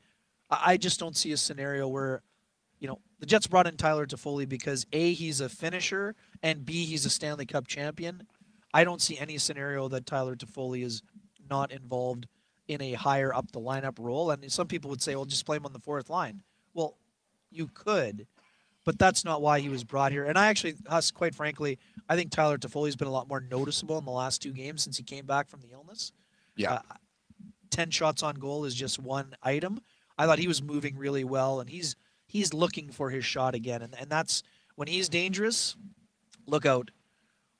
Well, I mean, we talked a lot about you know I, I follow and you know what uh, he's able to do in around playoff time. Tyler Toffoli, a different different style player, but I mean, Difference maker. big time. And listen, it's about big plays at big times and uh, scoring goals. And he uh, has a knack for shooting the puck and scoring a big one um, come playoff time as well. Um, listen, I know we've spent so much time talking about the top line, and now it's Ehlers, uh, Yeah. you know, with uh, with Mark Scheifele, and we're gonna hear what Bones had to say about this coming up in a minute. Um, how do you see, like, uh, you know, we've kind of talked about it. It just seems like at times the coaching staff is just looking for a reason to go back to where they were. Like, is this a game by game basis? And when the minute they don't have things going, it's going to go back to where it was before? Or can you see this maybe continue through to begin the playoffs? Yeah, I mean, I I know that kind of Rick hinted at maybe an itchy trigger finger in the quote, but I'm not I'm not certain he actually feels that way or is going to act that way. Um, I just but- think about the Calgary game. I mean, No, no, which fair. was, Yeah. I mean, almost humorous in the way that everything transpired No, with the it's fair. change and then going back to it. And credit to them for going back. Wait a second, what are we doing? No, Let's get back to it. Totally fair. And it was a strange scenario because it came out of that power play scenario to begin with, and then they scored right away. And then he was like, "Oh well, maybe we should try it for a few more shifts." But that did definitely coincide with the lull in the game for the Jets. But I mean, it, it just it, it's sort of not. I wouldn't say it's shift by shift, but I would say it's game by game. But I would say that a couple important developments for me, Huss, that I've noticed here. Sean Monahan really looking sharp again. His skating is really solid. He's driving that second line, in my personal opinion. Kyle Connor's done a nice job of contributing a little bit more offense in the last uh, three games since moving over there. I think whatever five points in three games. It's not just about points, but Kyle's got to be a little bit more assertive in looking for his shot too. Huss, a lot of assists and the three assi- to me the three assist game against the Kings was very important for Kyle Connor Huss because the Kings play a you know pretty defensive style that you know again the Avalanche play that way the same as the Kings no they do not but they're a good defensive team that's won the Stanley Cup so you're going to have to be involved offensively and generating and I loved his patience with the puck in that Kings game specifically set up a lot of good plays the interchange with Josh Morrissey that uh, went off the skate of Monahan impressive the saucer pass he makes to Perfetti Perfetti to Morrissey those are elite hockey plays by Kyle Connor. And it meant he was moving his feet. And that's what I loved about that game. I didn't find him as dangerous against the Wild personally, but I do think that there's starting to be some chem- like this may sound wild, but I think there's been more chemistry between Monahan and Connor than there has between Scheifele and Ehlers. But that's why I, you know, again, the biggest thing for the Jets is that Vilardi has come back, Huss, and is playing at a very high level, and his conditioning is up at a high level that it needs to be at in order for him to be a first line driver, right? So I don't, you know, I think that Vilardi would work great with Monahan, but if you decided to go Ehlers, Connor, and Scheifele, but I think that Gabriel Vilardi does so much for that line in terms of his board play and battles down low and his willingness to kind of hang on to the puck that I wouldn't I wouldn't be moving Gabriel Vilardi. And again, I understand why some folks are scared of it, but I also think that Ehlers and um, Monahan work well together. I know some people don't think the numbers line up with that, but I've seen them really drive. But then the thing is, you got to get Ehlers a little bit more ice time if he's not on the line with Mark Scheif. And again, I'm not advocating for Ehlers to be moved. I'm just saying that I think on the chemistry side of things, we know there's more offensive zone chemistry with Mark Scheifele and Kyle Connor. Does that mean they should play together? No, not necessarily. But I don't think we can ignore that. Is that true? Like, is that the case? They generate a lot together, Huss. It's just the problem is they give up a fair amount. It's not like the numbers speak for themselves. They so the numbers, the, the offensive amount. numbers are better with Connor. Well, I'm not 100 percent sure. I'd have to look a little bit closer. I just mean in terms of because we've always thought that, and, and like and I get it. That's sort just of the, co- something. the cohesion element. I, I just think there's a lot of times where Mark isn't sure where Nikolai is going to be, and I also think that's maybe vice versa. There are times when I don't know that, and the the biggest issue for me with that line when it doesn't work, again we've talked about it a lot. Sometimes when the symphony is hitting all the right notes, it's glorious to watch, but sometimes the oboe is out of tune and then it looks very disjointed for those two guys. So that's not to say it can't be better. And I think it, it will be better if they stick with it. It just, I think that that element, that unpredictability is part of what makes Nikolai Ehlers great. But Mark prefers a straight line player that he knows where he's going to be in terms of finding him. And again, I, I think that's also part of why his shots on goal are down in the last three games because maybe he's not. He's trying to figure out where Ehlers is going to be instead of just thinking pucks on my stick, bam, shoot it. But again, I also know some people believe that that's more related to power play numbers that his numbers are down, and that they're you know finding places elsewhere to get shots. And we know Mark is a pass first player, but we can't also ignore the fact that he had 42 goals last year and has one of the best releases in the NHL. So uh, I'm very curious to see how it turns out. And again, it's going to be part of the fascinating part of the journey. And my point through all of this is not break them up. My point through all of this is that there is no way the Jets are going to win four rounds unless Mark Scheifele and Kyle Connor are playing at an elite level. I just don't see it. As, as much depth as the Jets have, they have to have those two guys going and not just purring along. They need to be like turbo boost acceleration like in the in the red zone here like absolutely going on all cylinders or else it's going to be a challenge for them can, can those listen this is a pretty simple question i mean like if, if they're back we've seen what's happened all season long i mean can, can those guys hang in a head-to-head matchup against nathan mackinnon and his line yeah i mean uh, like we're 10 days removed from the hat trick in New York, right? I mean, so I, I don't think we can say that. I mean, that's one game, though. I, I mean, no, no, I think I, we've got a lot of other I get games. it. I get it. I get it, Huss. But, I mean, the Jets were also in first place for a lot of the time when those guys were together until December 10th when, when Kyle got hurt. So, and, just strictly and I don't on a matchup that, level. And I don't think that they were, you know, they weren't getting hemmed in on every single shift, right? I mean – but at the same time, the recent evidence and I understand the body of work is not at a level that is high enough to be going toe to toe. They can hang with them, but not if it's a track meet, right? Unless something changes dramatically. I, I Jets would, can't get in a track meet with Colorado, or they're going to be out.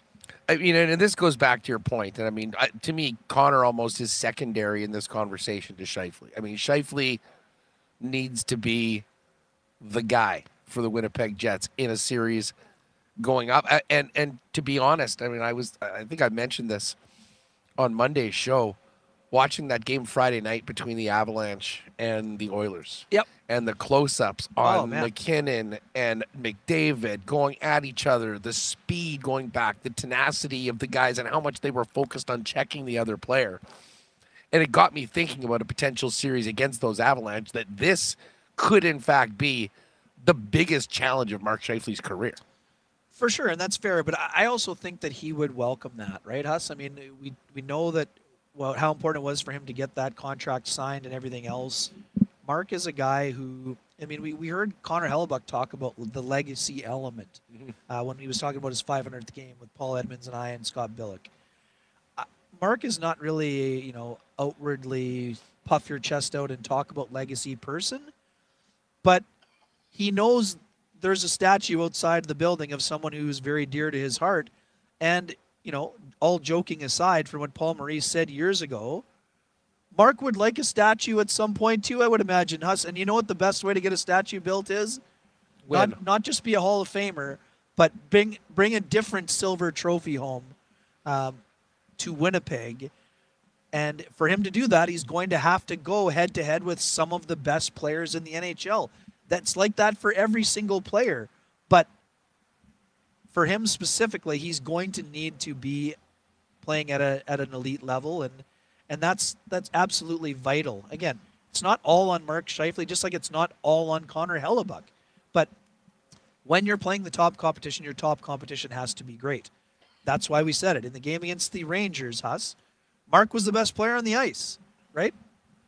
There, there was no argument there. Took over that game. So, can you do that against the you know potential Hart trophy winner? Now that's the next challenge in you know a week and a half's time, whenever that series starts. So, I think he would welcome the challenge. But yeah, I mean, he also welcomed the challenge to go against McDavid and Draisaitl in the year that they swept them Yep. right? So I, I think he can elevate his game come playoff time. He has done it before.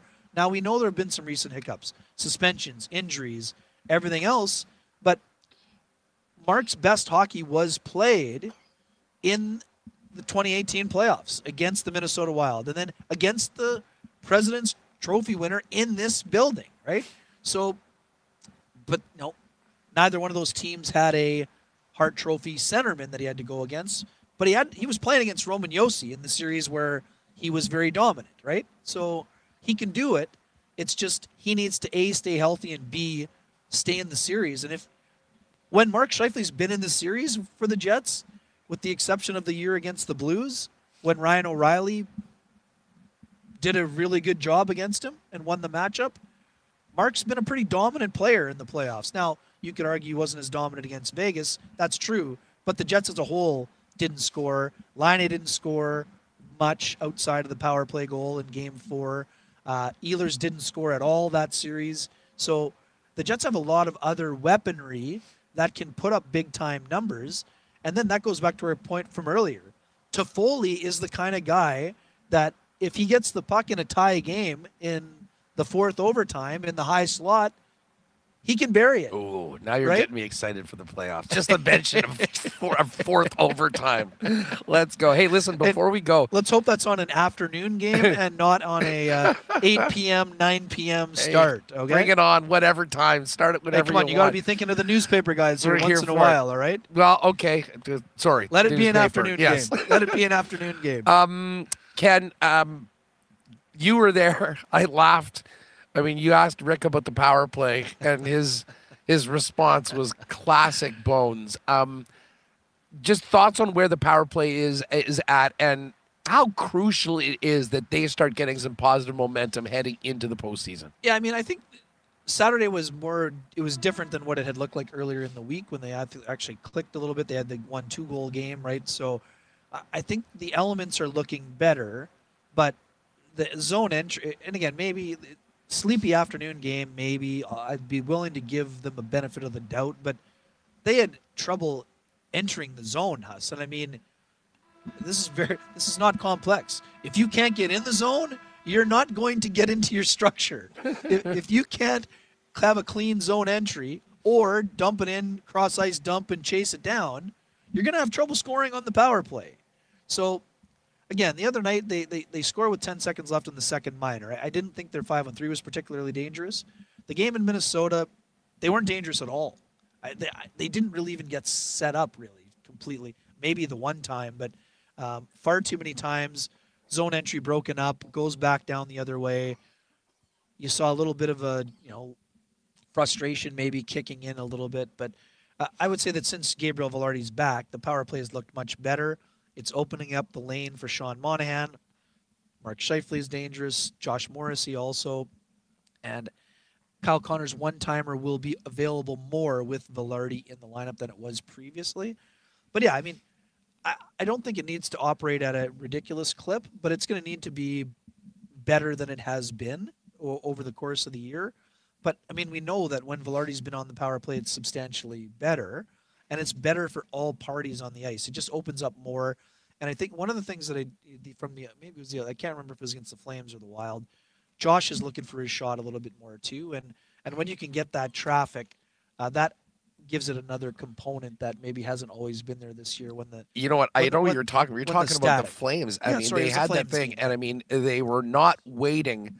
He wasn't waiting. totally He was getting in. They're obviously five on three as well. You know, you got a better chance to get on rebounds, but there seemed to be a little bit more of urgency that sometimes has been missing from the Jets' power play. Yeah, for sure. And and the one thing I- don't think it is as static as it was earlier in the year, but when it's at its best, people are moving around. I mean, I love the way that Vilardi handles himself down low, looks for his own shot.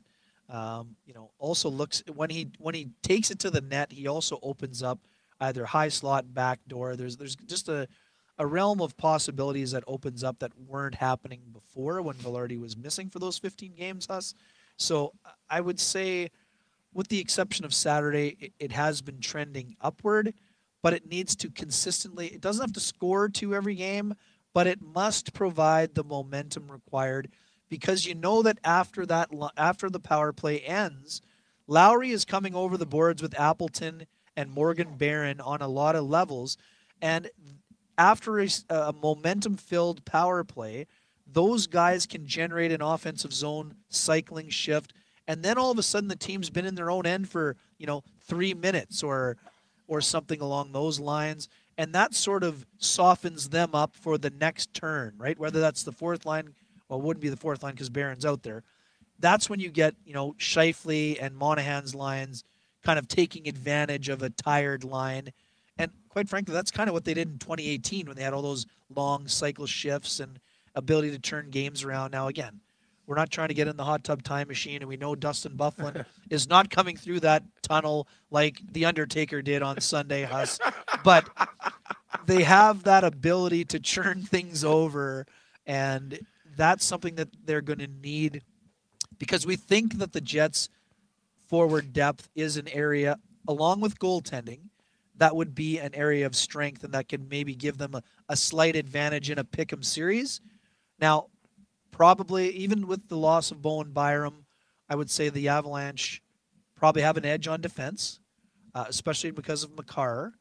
But you know, then it's up to the Jets to sort of make their hay in other areas. And Huss, one of the areas they're going to have to win is the special teams battle if you want to win a, a coin flip series. Well, and and you know what? I mean, we saw what the fourth line did. I'm I'm feeling an Adam Lowry game tonight. I'm uh, might be a little tease for our Coolbet lines of what we're going to get There after it. go. But um, listen, and moving on, we're going to hear from Bones in just a second as to what he's looking uh, forward uh, for the final five games. I know you're looking forward to getting out to Dallas and in Colorado. Yeah, but We'll look forward to uh, catching uh, all of it in the Winnipeg Free Press. Great stuff, buddy. Thanks again for Yep. doing this. Thanks for having me. A great couple days. Glad you could make it out here. And uh, we know we ran into a bunch of uh, podcast listeners in the last couple of days, and uh, that that is always so awesome to see. And folks are uh, they've just made the space such a great place in terms of the community building, and it's great to connect with them um, in person when we Ken was being mobbed by both Jet fans and random bachelorette parties last night. It was quite the scene. It was quite the scene here in uh,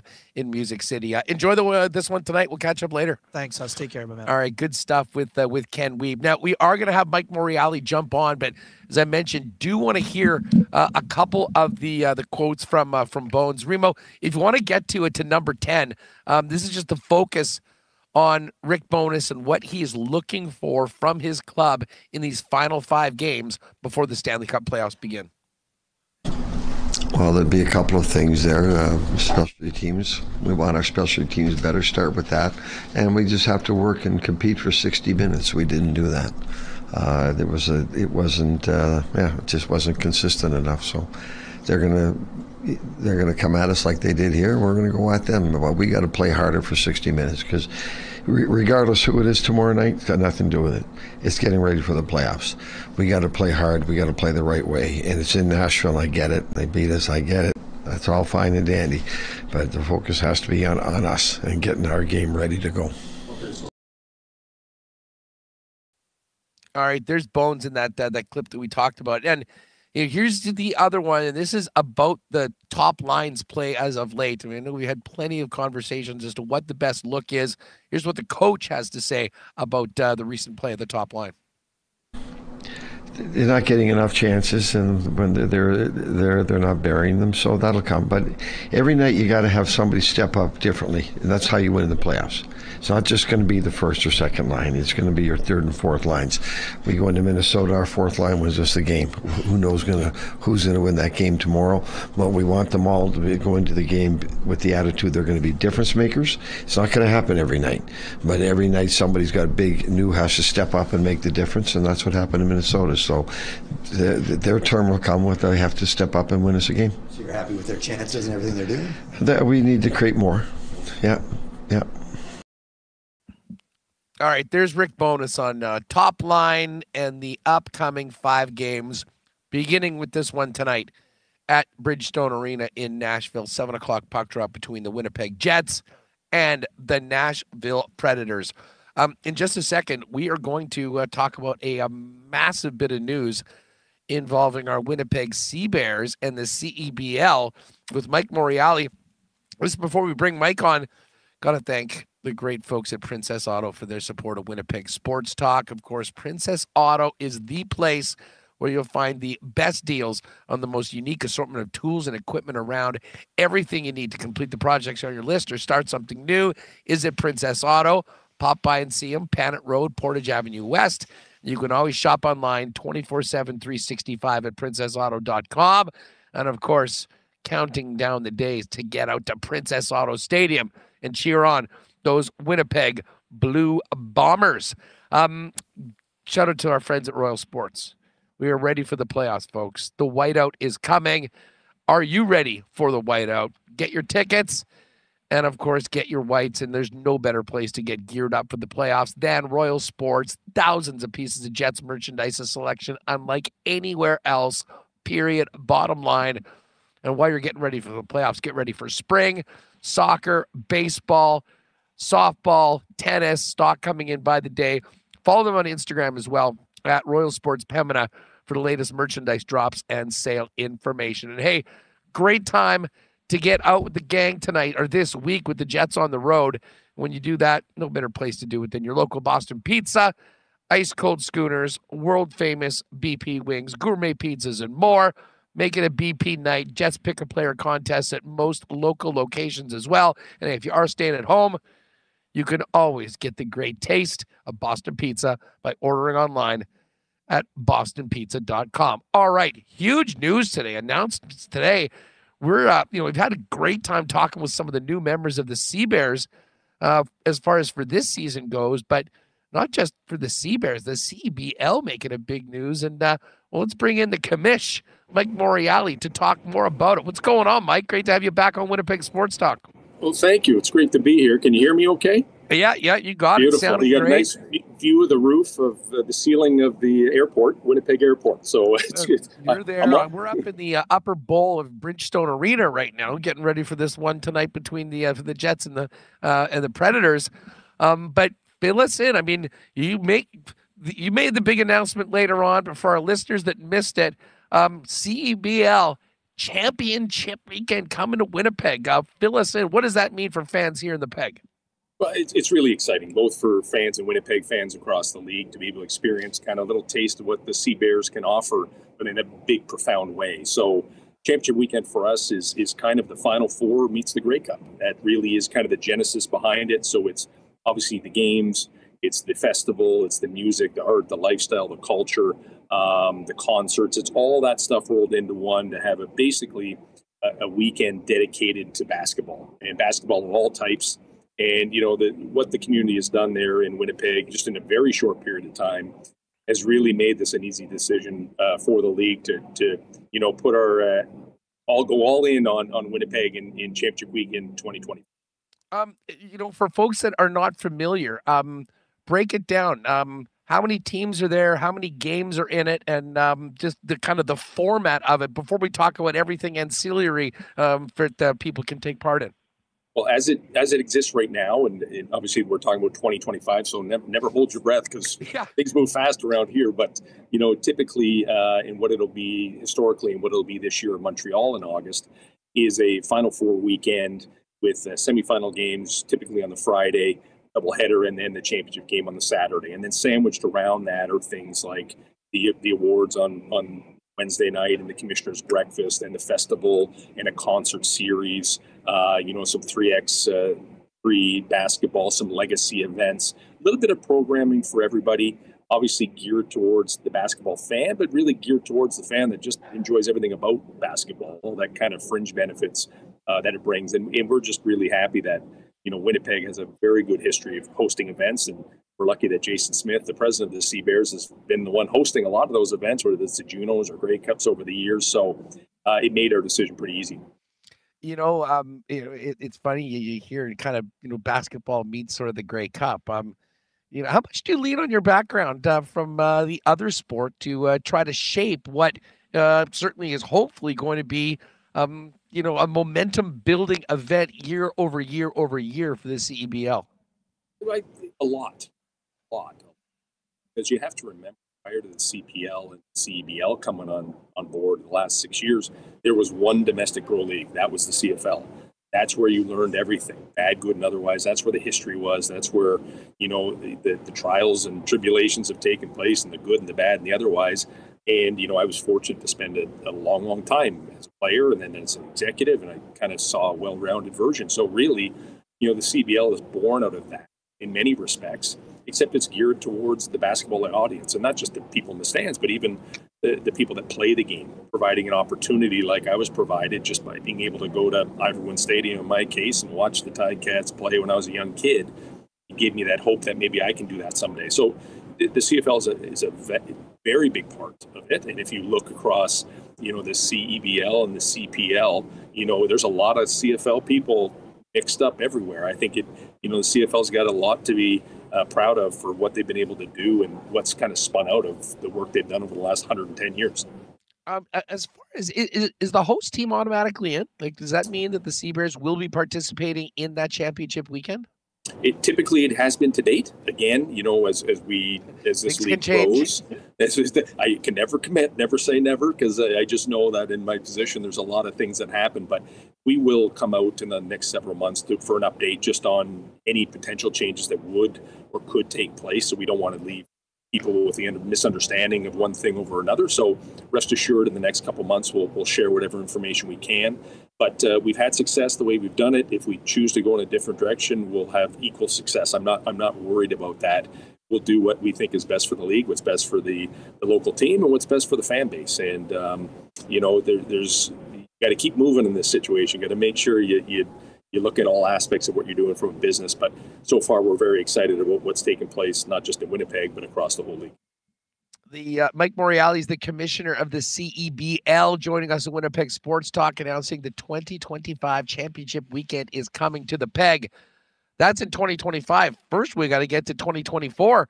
How uh, how are you feeling about the upcoming season, the momentum building around the league, especially here in Winnipeg after that magical first season? Yeah, I mean, I'll start in Winnipeg. I mean, what happened there last year was really it was magical. There was a touch of magic there, and and I know that the team has worked really hard in the offseason for that not only for that magic to continue, but to to explode and get bigger and bigger, and they're well on their way. Um, so it, it was a you know, even from my position, going back to the very beginning, it was kind of that proof of concept and to see it live out in real life.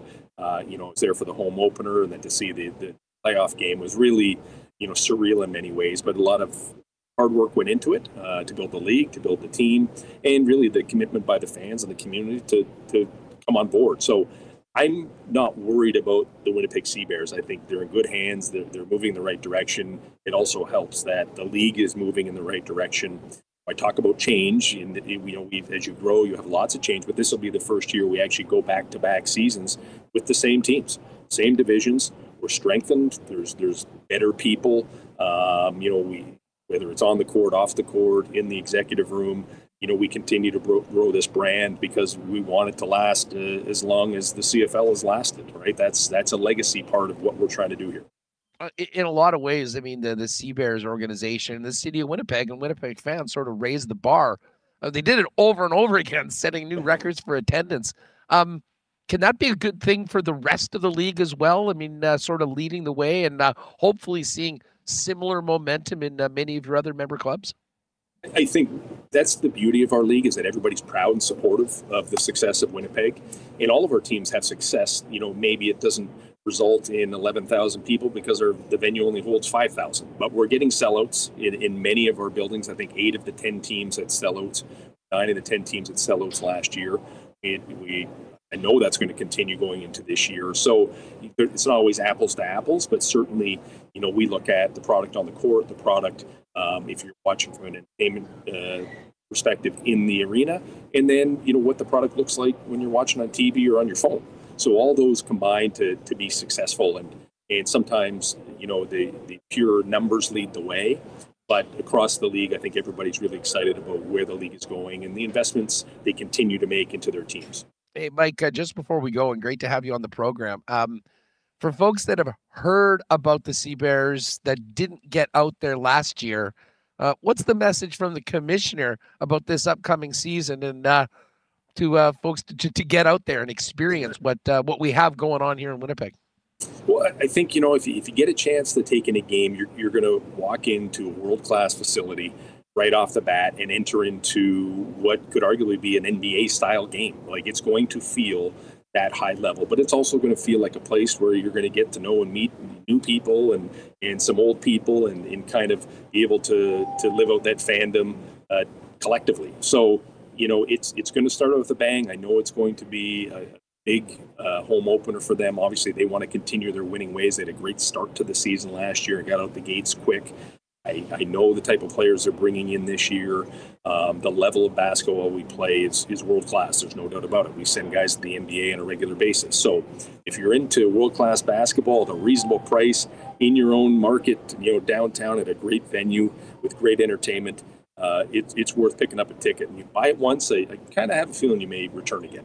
Well, and I think people are really excited. The uh, from the the basketball operations department. I think has had a pretty darn good off season with some of the ads and the guys that we've had on the show. Um, and it's not surprising. I mean, uh, I think any player that came to Winnipeg that experienced what was going on here in the city with the Sea Bears in their inaugural season probably thought that you know, given their druthers, be a pretty good, uh, pretty good place to play. Mike, listen, we'll have to get you on uh, when we uh, kick the season off. Continued success good luck in 2024, and we are looking forward to seeing you and the rest of the CEL uh, in Winnipeg for the championship weekend in uh, 2025.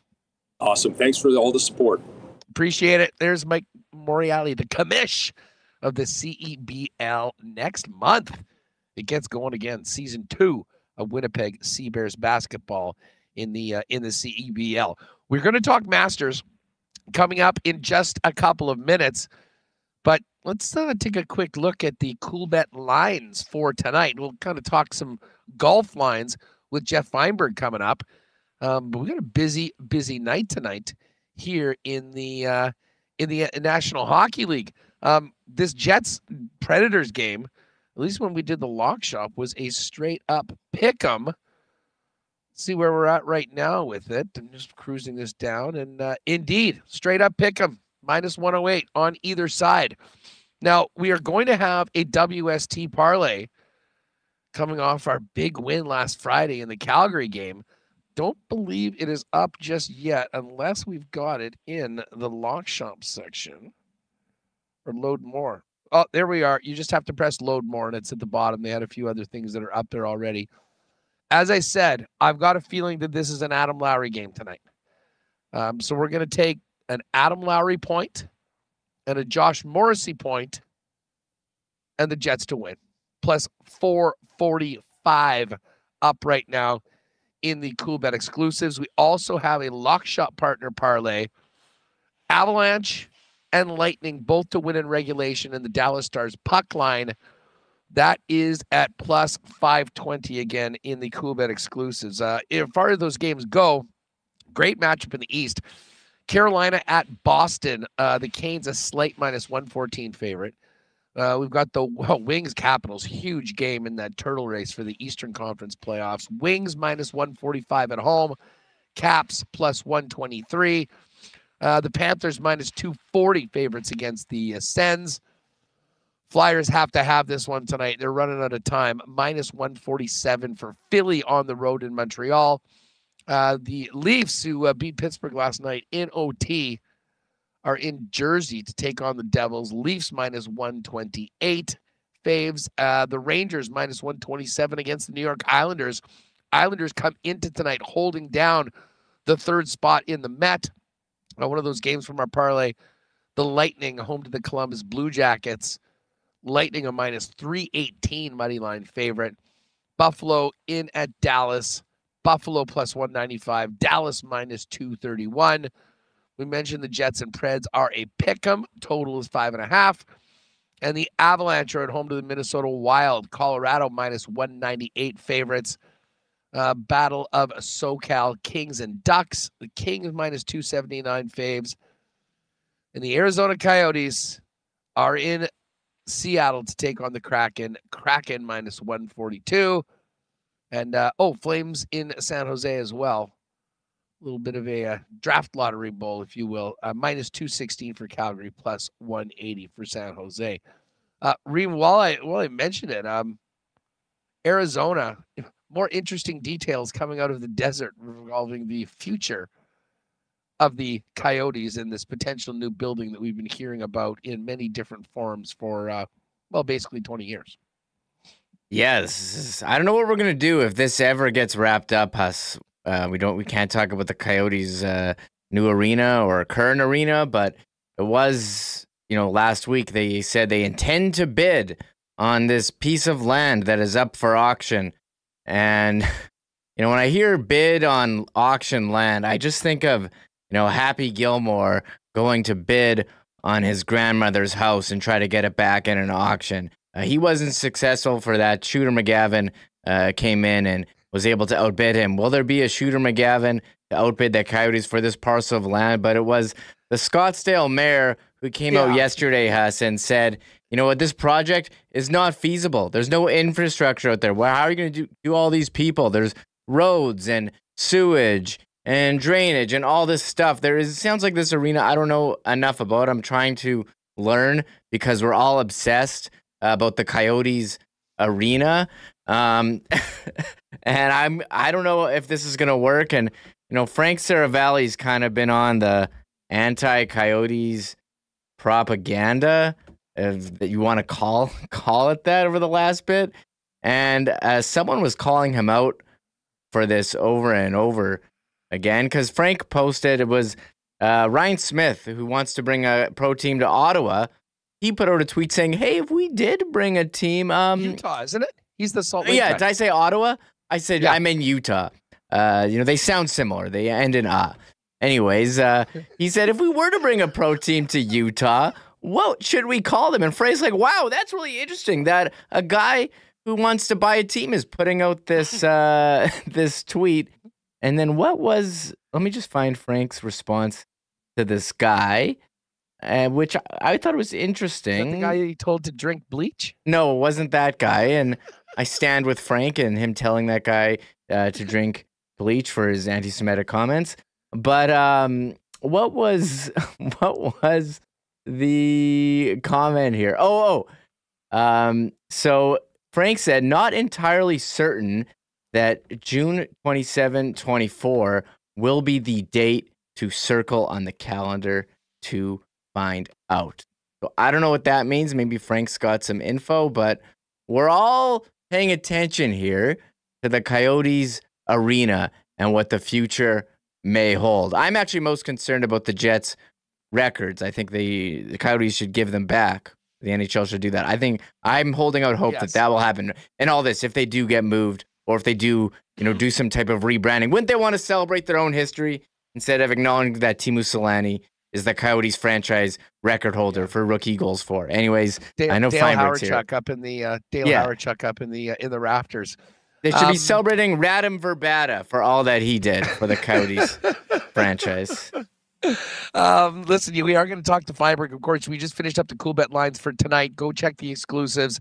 Also, a great majors promo right now. Check it out on the promotions page. Um, if you do like to uh, sprinkle on golf, our next guest certainly would fall into that category. Um, I do want to thank our friends at Aikens Lake Wilderness Lodge, though, folks. Don't forget, booking is underway now, well into the summer for Aikens Lake, um, world class fly in fishing lodge where you can be on the water in less than two hours from the city of Winnipeg.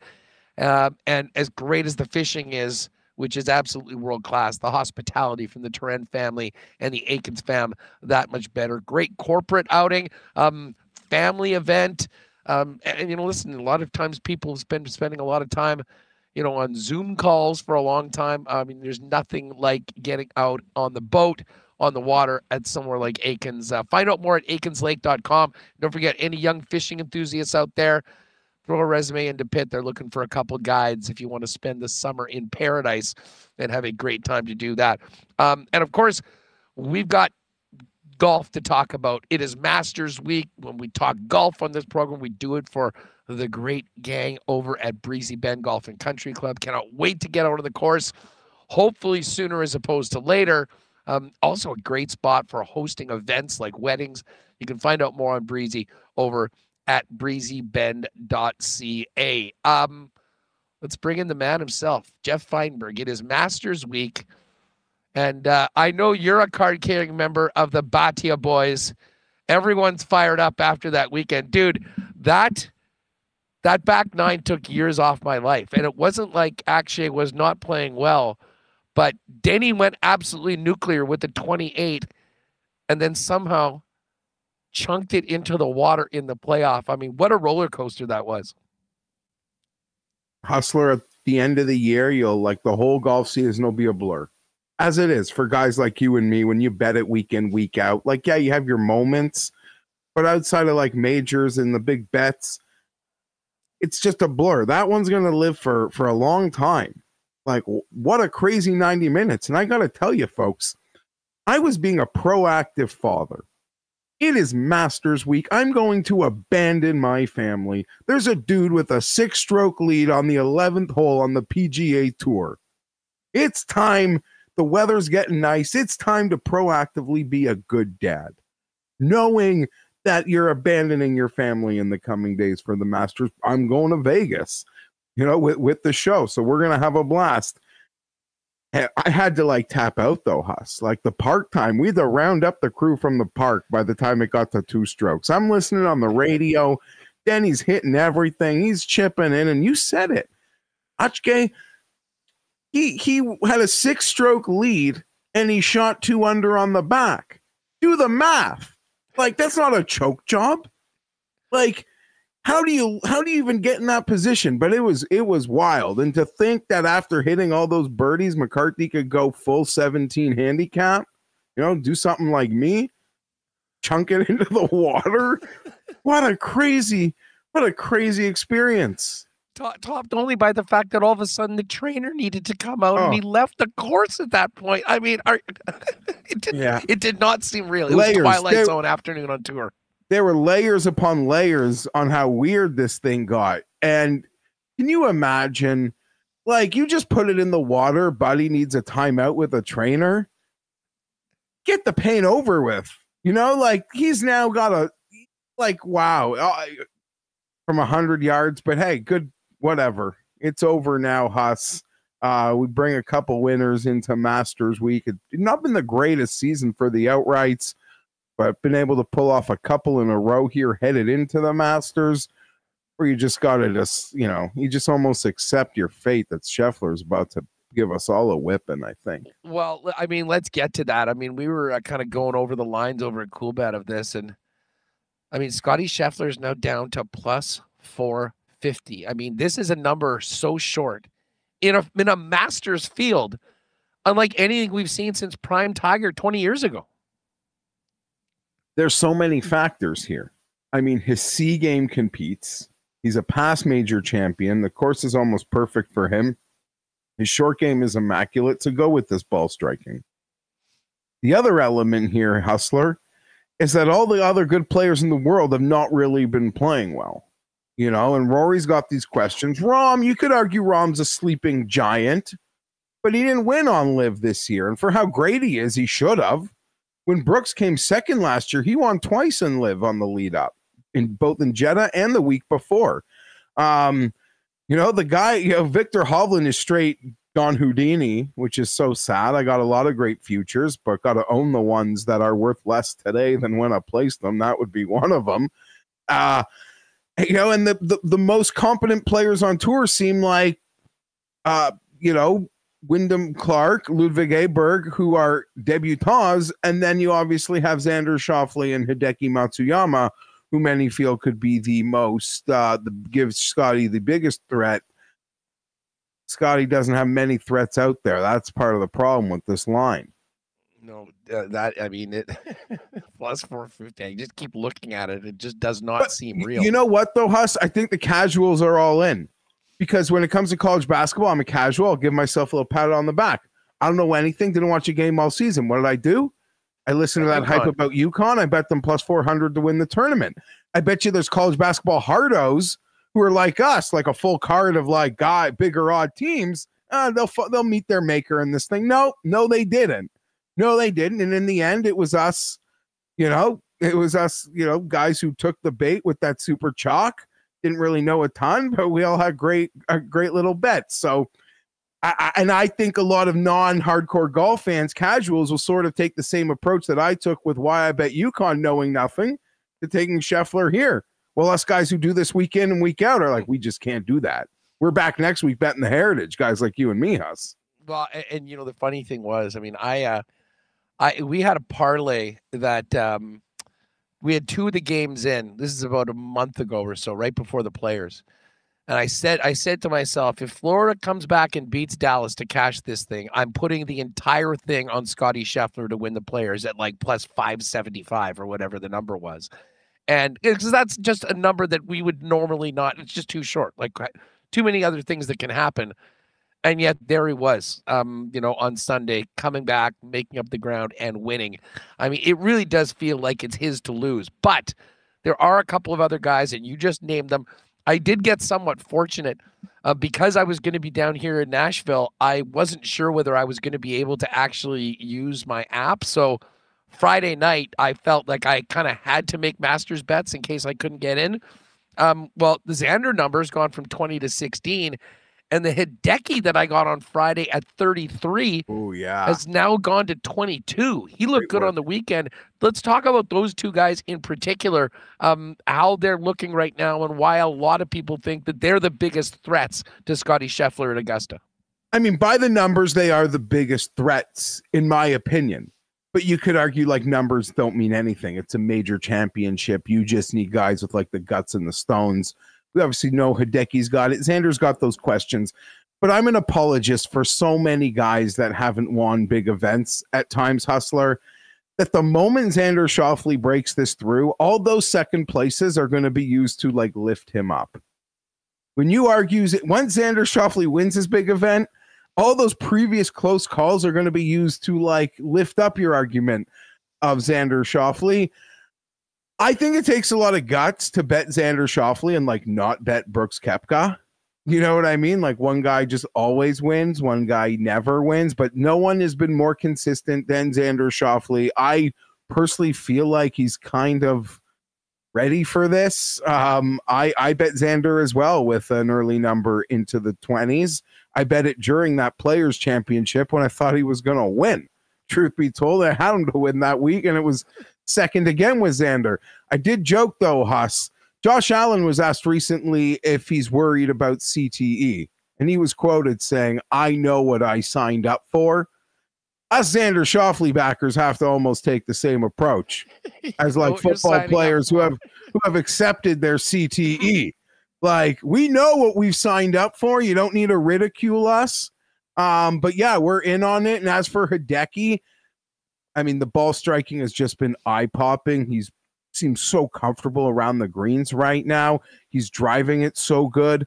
I, I really do love Hideki. If I wasn't sort of preloaded with so many futures, I probably would have bet Hideki this week for sure. I think. Um, uh, outside of that, I mean, uh, any uh, kind of bombs that you're uh, throwing in uh, just to uh, round out the card at bigger numbers? There's a whole range of since we've sort of become friends, Huss. The Masters winners have been broken into almost two distinct ranges the very top where we've had our Schefflers and our our DJs and our Roms, and then literally it's that second tier of guys we want to trust haven't been the ones to trust. It's been that like 40 to 60 to 1 tier. That's where you saw Sergio and Reed and Hideki and even Willett by week of was like 66 to 1. That's been a profitable tier and there are a lot of guys in that range that I know, be it be it our guy Tony Finau, if you could trust him to make six footers. Um, it's a perfect course for Cam Young.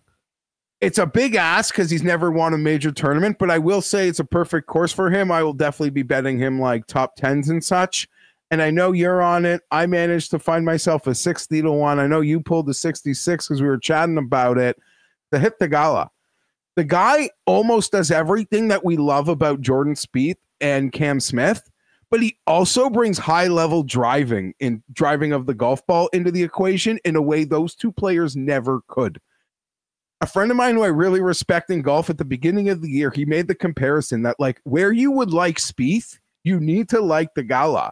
And that has honestly shown itself all through this golf season from go. All like the places that seem to work for Spieth also seem to work for Sahith.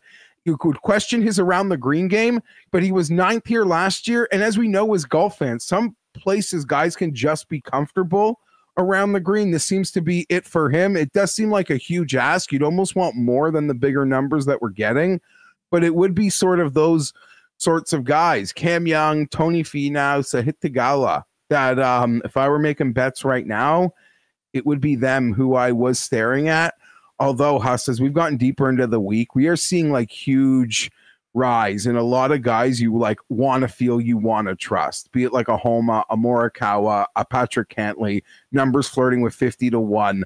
But you find can you find your game at Augusta? Like, do you trust someone to actually find themselves at Augusta? Because I don't know we've ever seen someone find their game at Augusta en route to a win. You pretty much need to show up with it.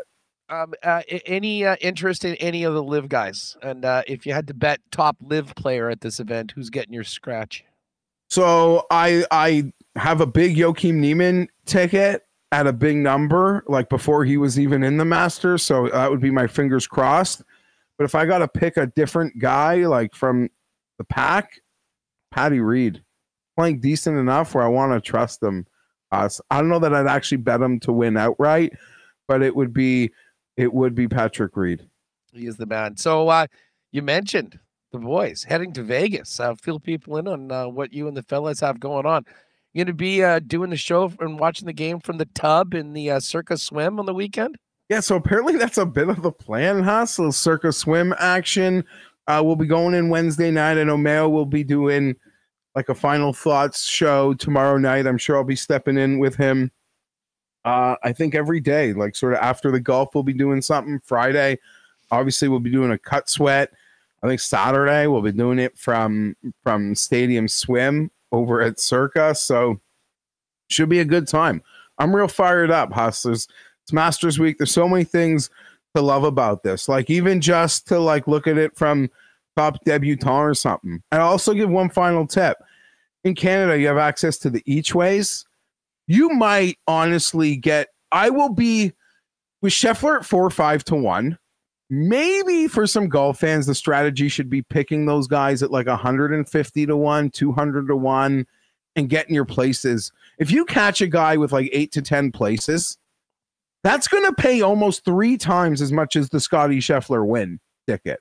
And it's great to like pick the winner, but truth of the matter is there's really a lot of places you can try to find something on this uh, on this board. If I had to pick a couple, it'd be Taylor Moore and Stephan Jaeger. Cam Davis. There, I added in a third. Deep, Dude, deep, uh, guys, deep. Huss. We're talking is- deep at the board. Is is uh, is Tim uh, as part of the crew that's uh, going to be uh, in a, in a full effect? You know, I wish. I really wish. Tim Vegas goes against a lot of like Tim's morals, Huss. Well, so does Uh, Liv, and he's apparently the biggest yeah. Liv guy around. So I don't know mean, what's uh, up with that. That's he never that ceases to amaze us. never ceases to amaze. No, unfortunately, this is one that I don't believe he's getting to be a part of. But we've been talking on the back end, Huss. We're bringing the show on another road trip later, end of summer in Montreal for the President's Cup. Oh Tim yeah. will Tim will be there. I I got a good feeling I'm going to see you there too. I'll be bugging you about it all summer, buddy. I cannot wait. I cannot wait for that. Uh, listen, really looking forward to seeing what you and the uh, fellas have going on. Check it all out at Mayo Media Network. Uh, give the boys a sub on YouTube. Have a good time. Good luck with the picks, and uh, we'll look forward to catching up uh, for for a recap when uh, you guys get your act together and get back on home soil after the weekend. All the best, Huss. Go Jets. Thanks, buddy. There it is, our my pal Geoff Fienberg at G Fienberg 17. And again, uh, all of the uh, golf content with Geoff and Pat over at Mayo Media Network. Um, and again, I did put this out yesterday. I think if you check my feed, I'm gonna go back to my uh, my Twitter feed. Um, yesterday afternoon, I believe I put it out. Very, very cool um, majors campaign for um, uh, over at Coolbet. You earn points when you win bets on all four golf majors. Um, apply the quote major contest bet before confirming your wager. Um, you'll be in for some great prizes available from our friends over at Coolbet. Uh, odds are up there, and tomorrow we will kind of do what we just did with Fienberg, but take it to the whole next level. The one of the biggest lock shop shows of the year, the Masters Special tomorrow at noon, Edmonton Sports Talk on a heater after hitting that 50 to 1 um Akshay last week. The accounts are flush and uh, we'll be firing tomorrow. So if you do like that. Oh, and by the way, uh Remo, I'm just checking right now. Do we got uh, room still in the uh, in the um, DraftKings contest for the Masters? Yeah, there's a couple spots open. Perfect. Uh, link in the description. Link in the description, gang. Check it out and uh, play with us. It should be a heck of a lot of fun. All right, before we go, Remo back in here. What uh, what what's your feeling for this one tonight? Yeah, I think the Jets get it. I think um, they take exception us to the beatdown uh, from a couple weeks ago. I think that maybe they're a little mad that you know they had to go back to Winnipeg after Minnesota and couldn't spend that extra day in Nashville. I think it's going to pay off, uh, and I I'm expecting a solid game here uh, for the Jets as three game win streak look to make it four tonight. So I you know it's a tough one. I mean flip a coin us because that's what the uh, Coolbet odds say. It is a pick 'em, but uh, I think I like like the Jets here. Yeah, well, as I said, if you want to jump on that uh, that WST exclusive that we put together, a Lowry point, Morrissey point, Jets to win, plus 445. Uh, that's going to do it for us. We're going to get this pod up so people can check the show out before puck drop tonight. Um, I will be back tomorrow from Nashville. Uh, we've got lots coming up, including Colby Barlow on the show tomorrow. He, of course, has been uh, assigned to the Manitoba Moose. Looking forward to catching up with him. Uh, full recap of tonight's action and a look ahead to the next stop on the road trip in Dallas. But tonight, the main event is Jets Preds just after 7 o'clock here in Music City. Uh, big thanks to Michael Remis for uh, doing a heck of a job getting us uh, through this one today. Thanks to Max Herz. Fun to have him join me live. And of course, Ken Wiebe. Mike Morreale, as well as Geoff Fienberg. Big thanks to all the sponsors that make the show happen each and every day. Folks, enjoy the game tonight. Well, we'll see you tomorrow, 1 p.m. live from Nashville as the Jets wheels up to Dallas after tonight's tilt. Enjoy it tonight, and we will see you tomorrow on Winnipeg Sports Talk. Oh my God! Oh! Shut it down! Thanks for tuning in to Winnipeg Sports Talk Daily. Make sure to subscribe on YouTube and your favorite podcast feed at winnipegsportstalk.com.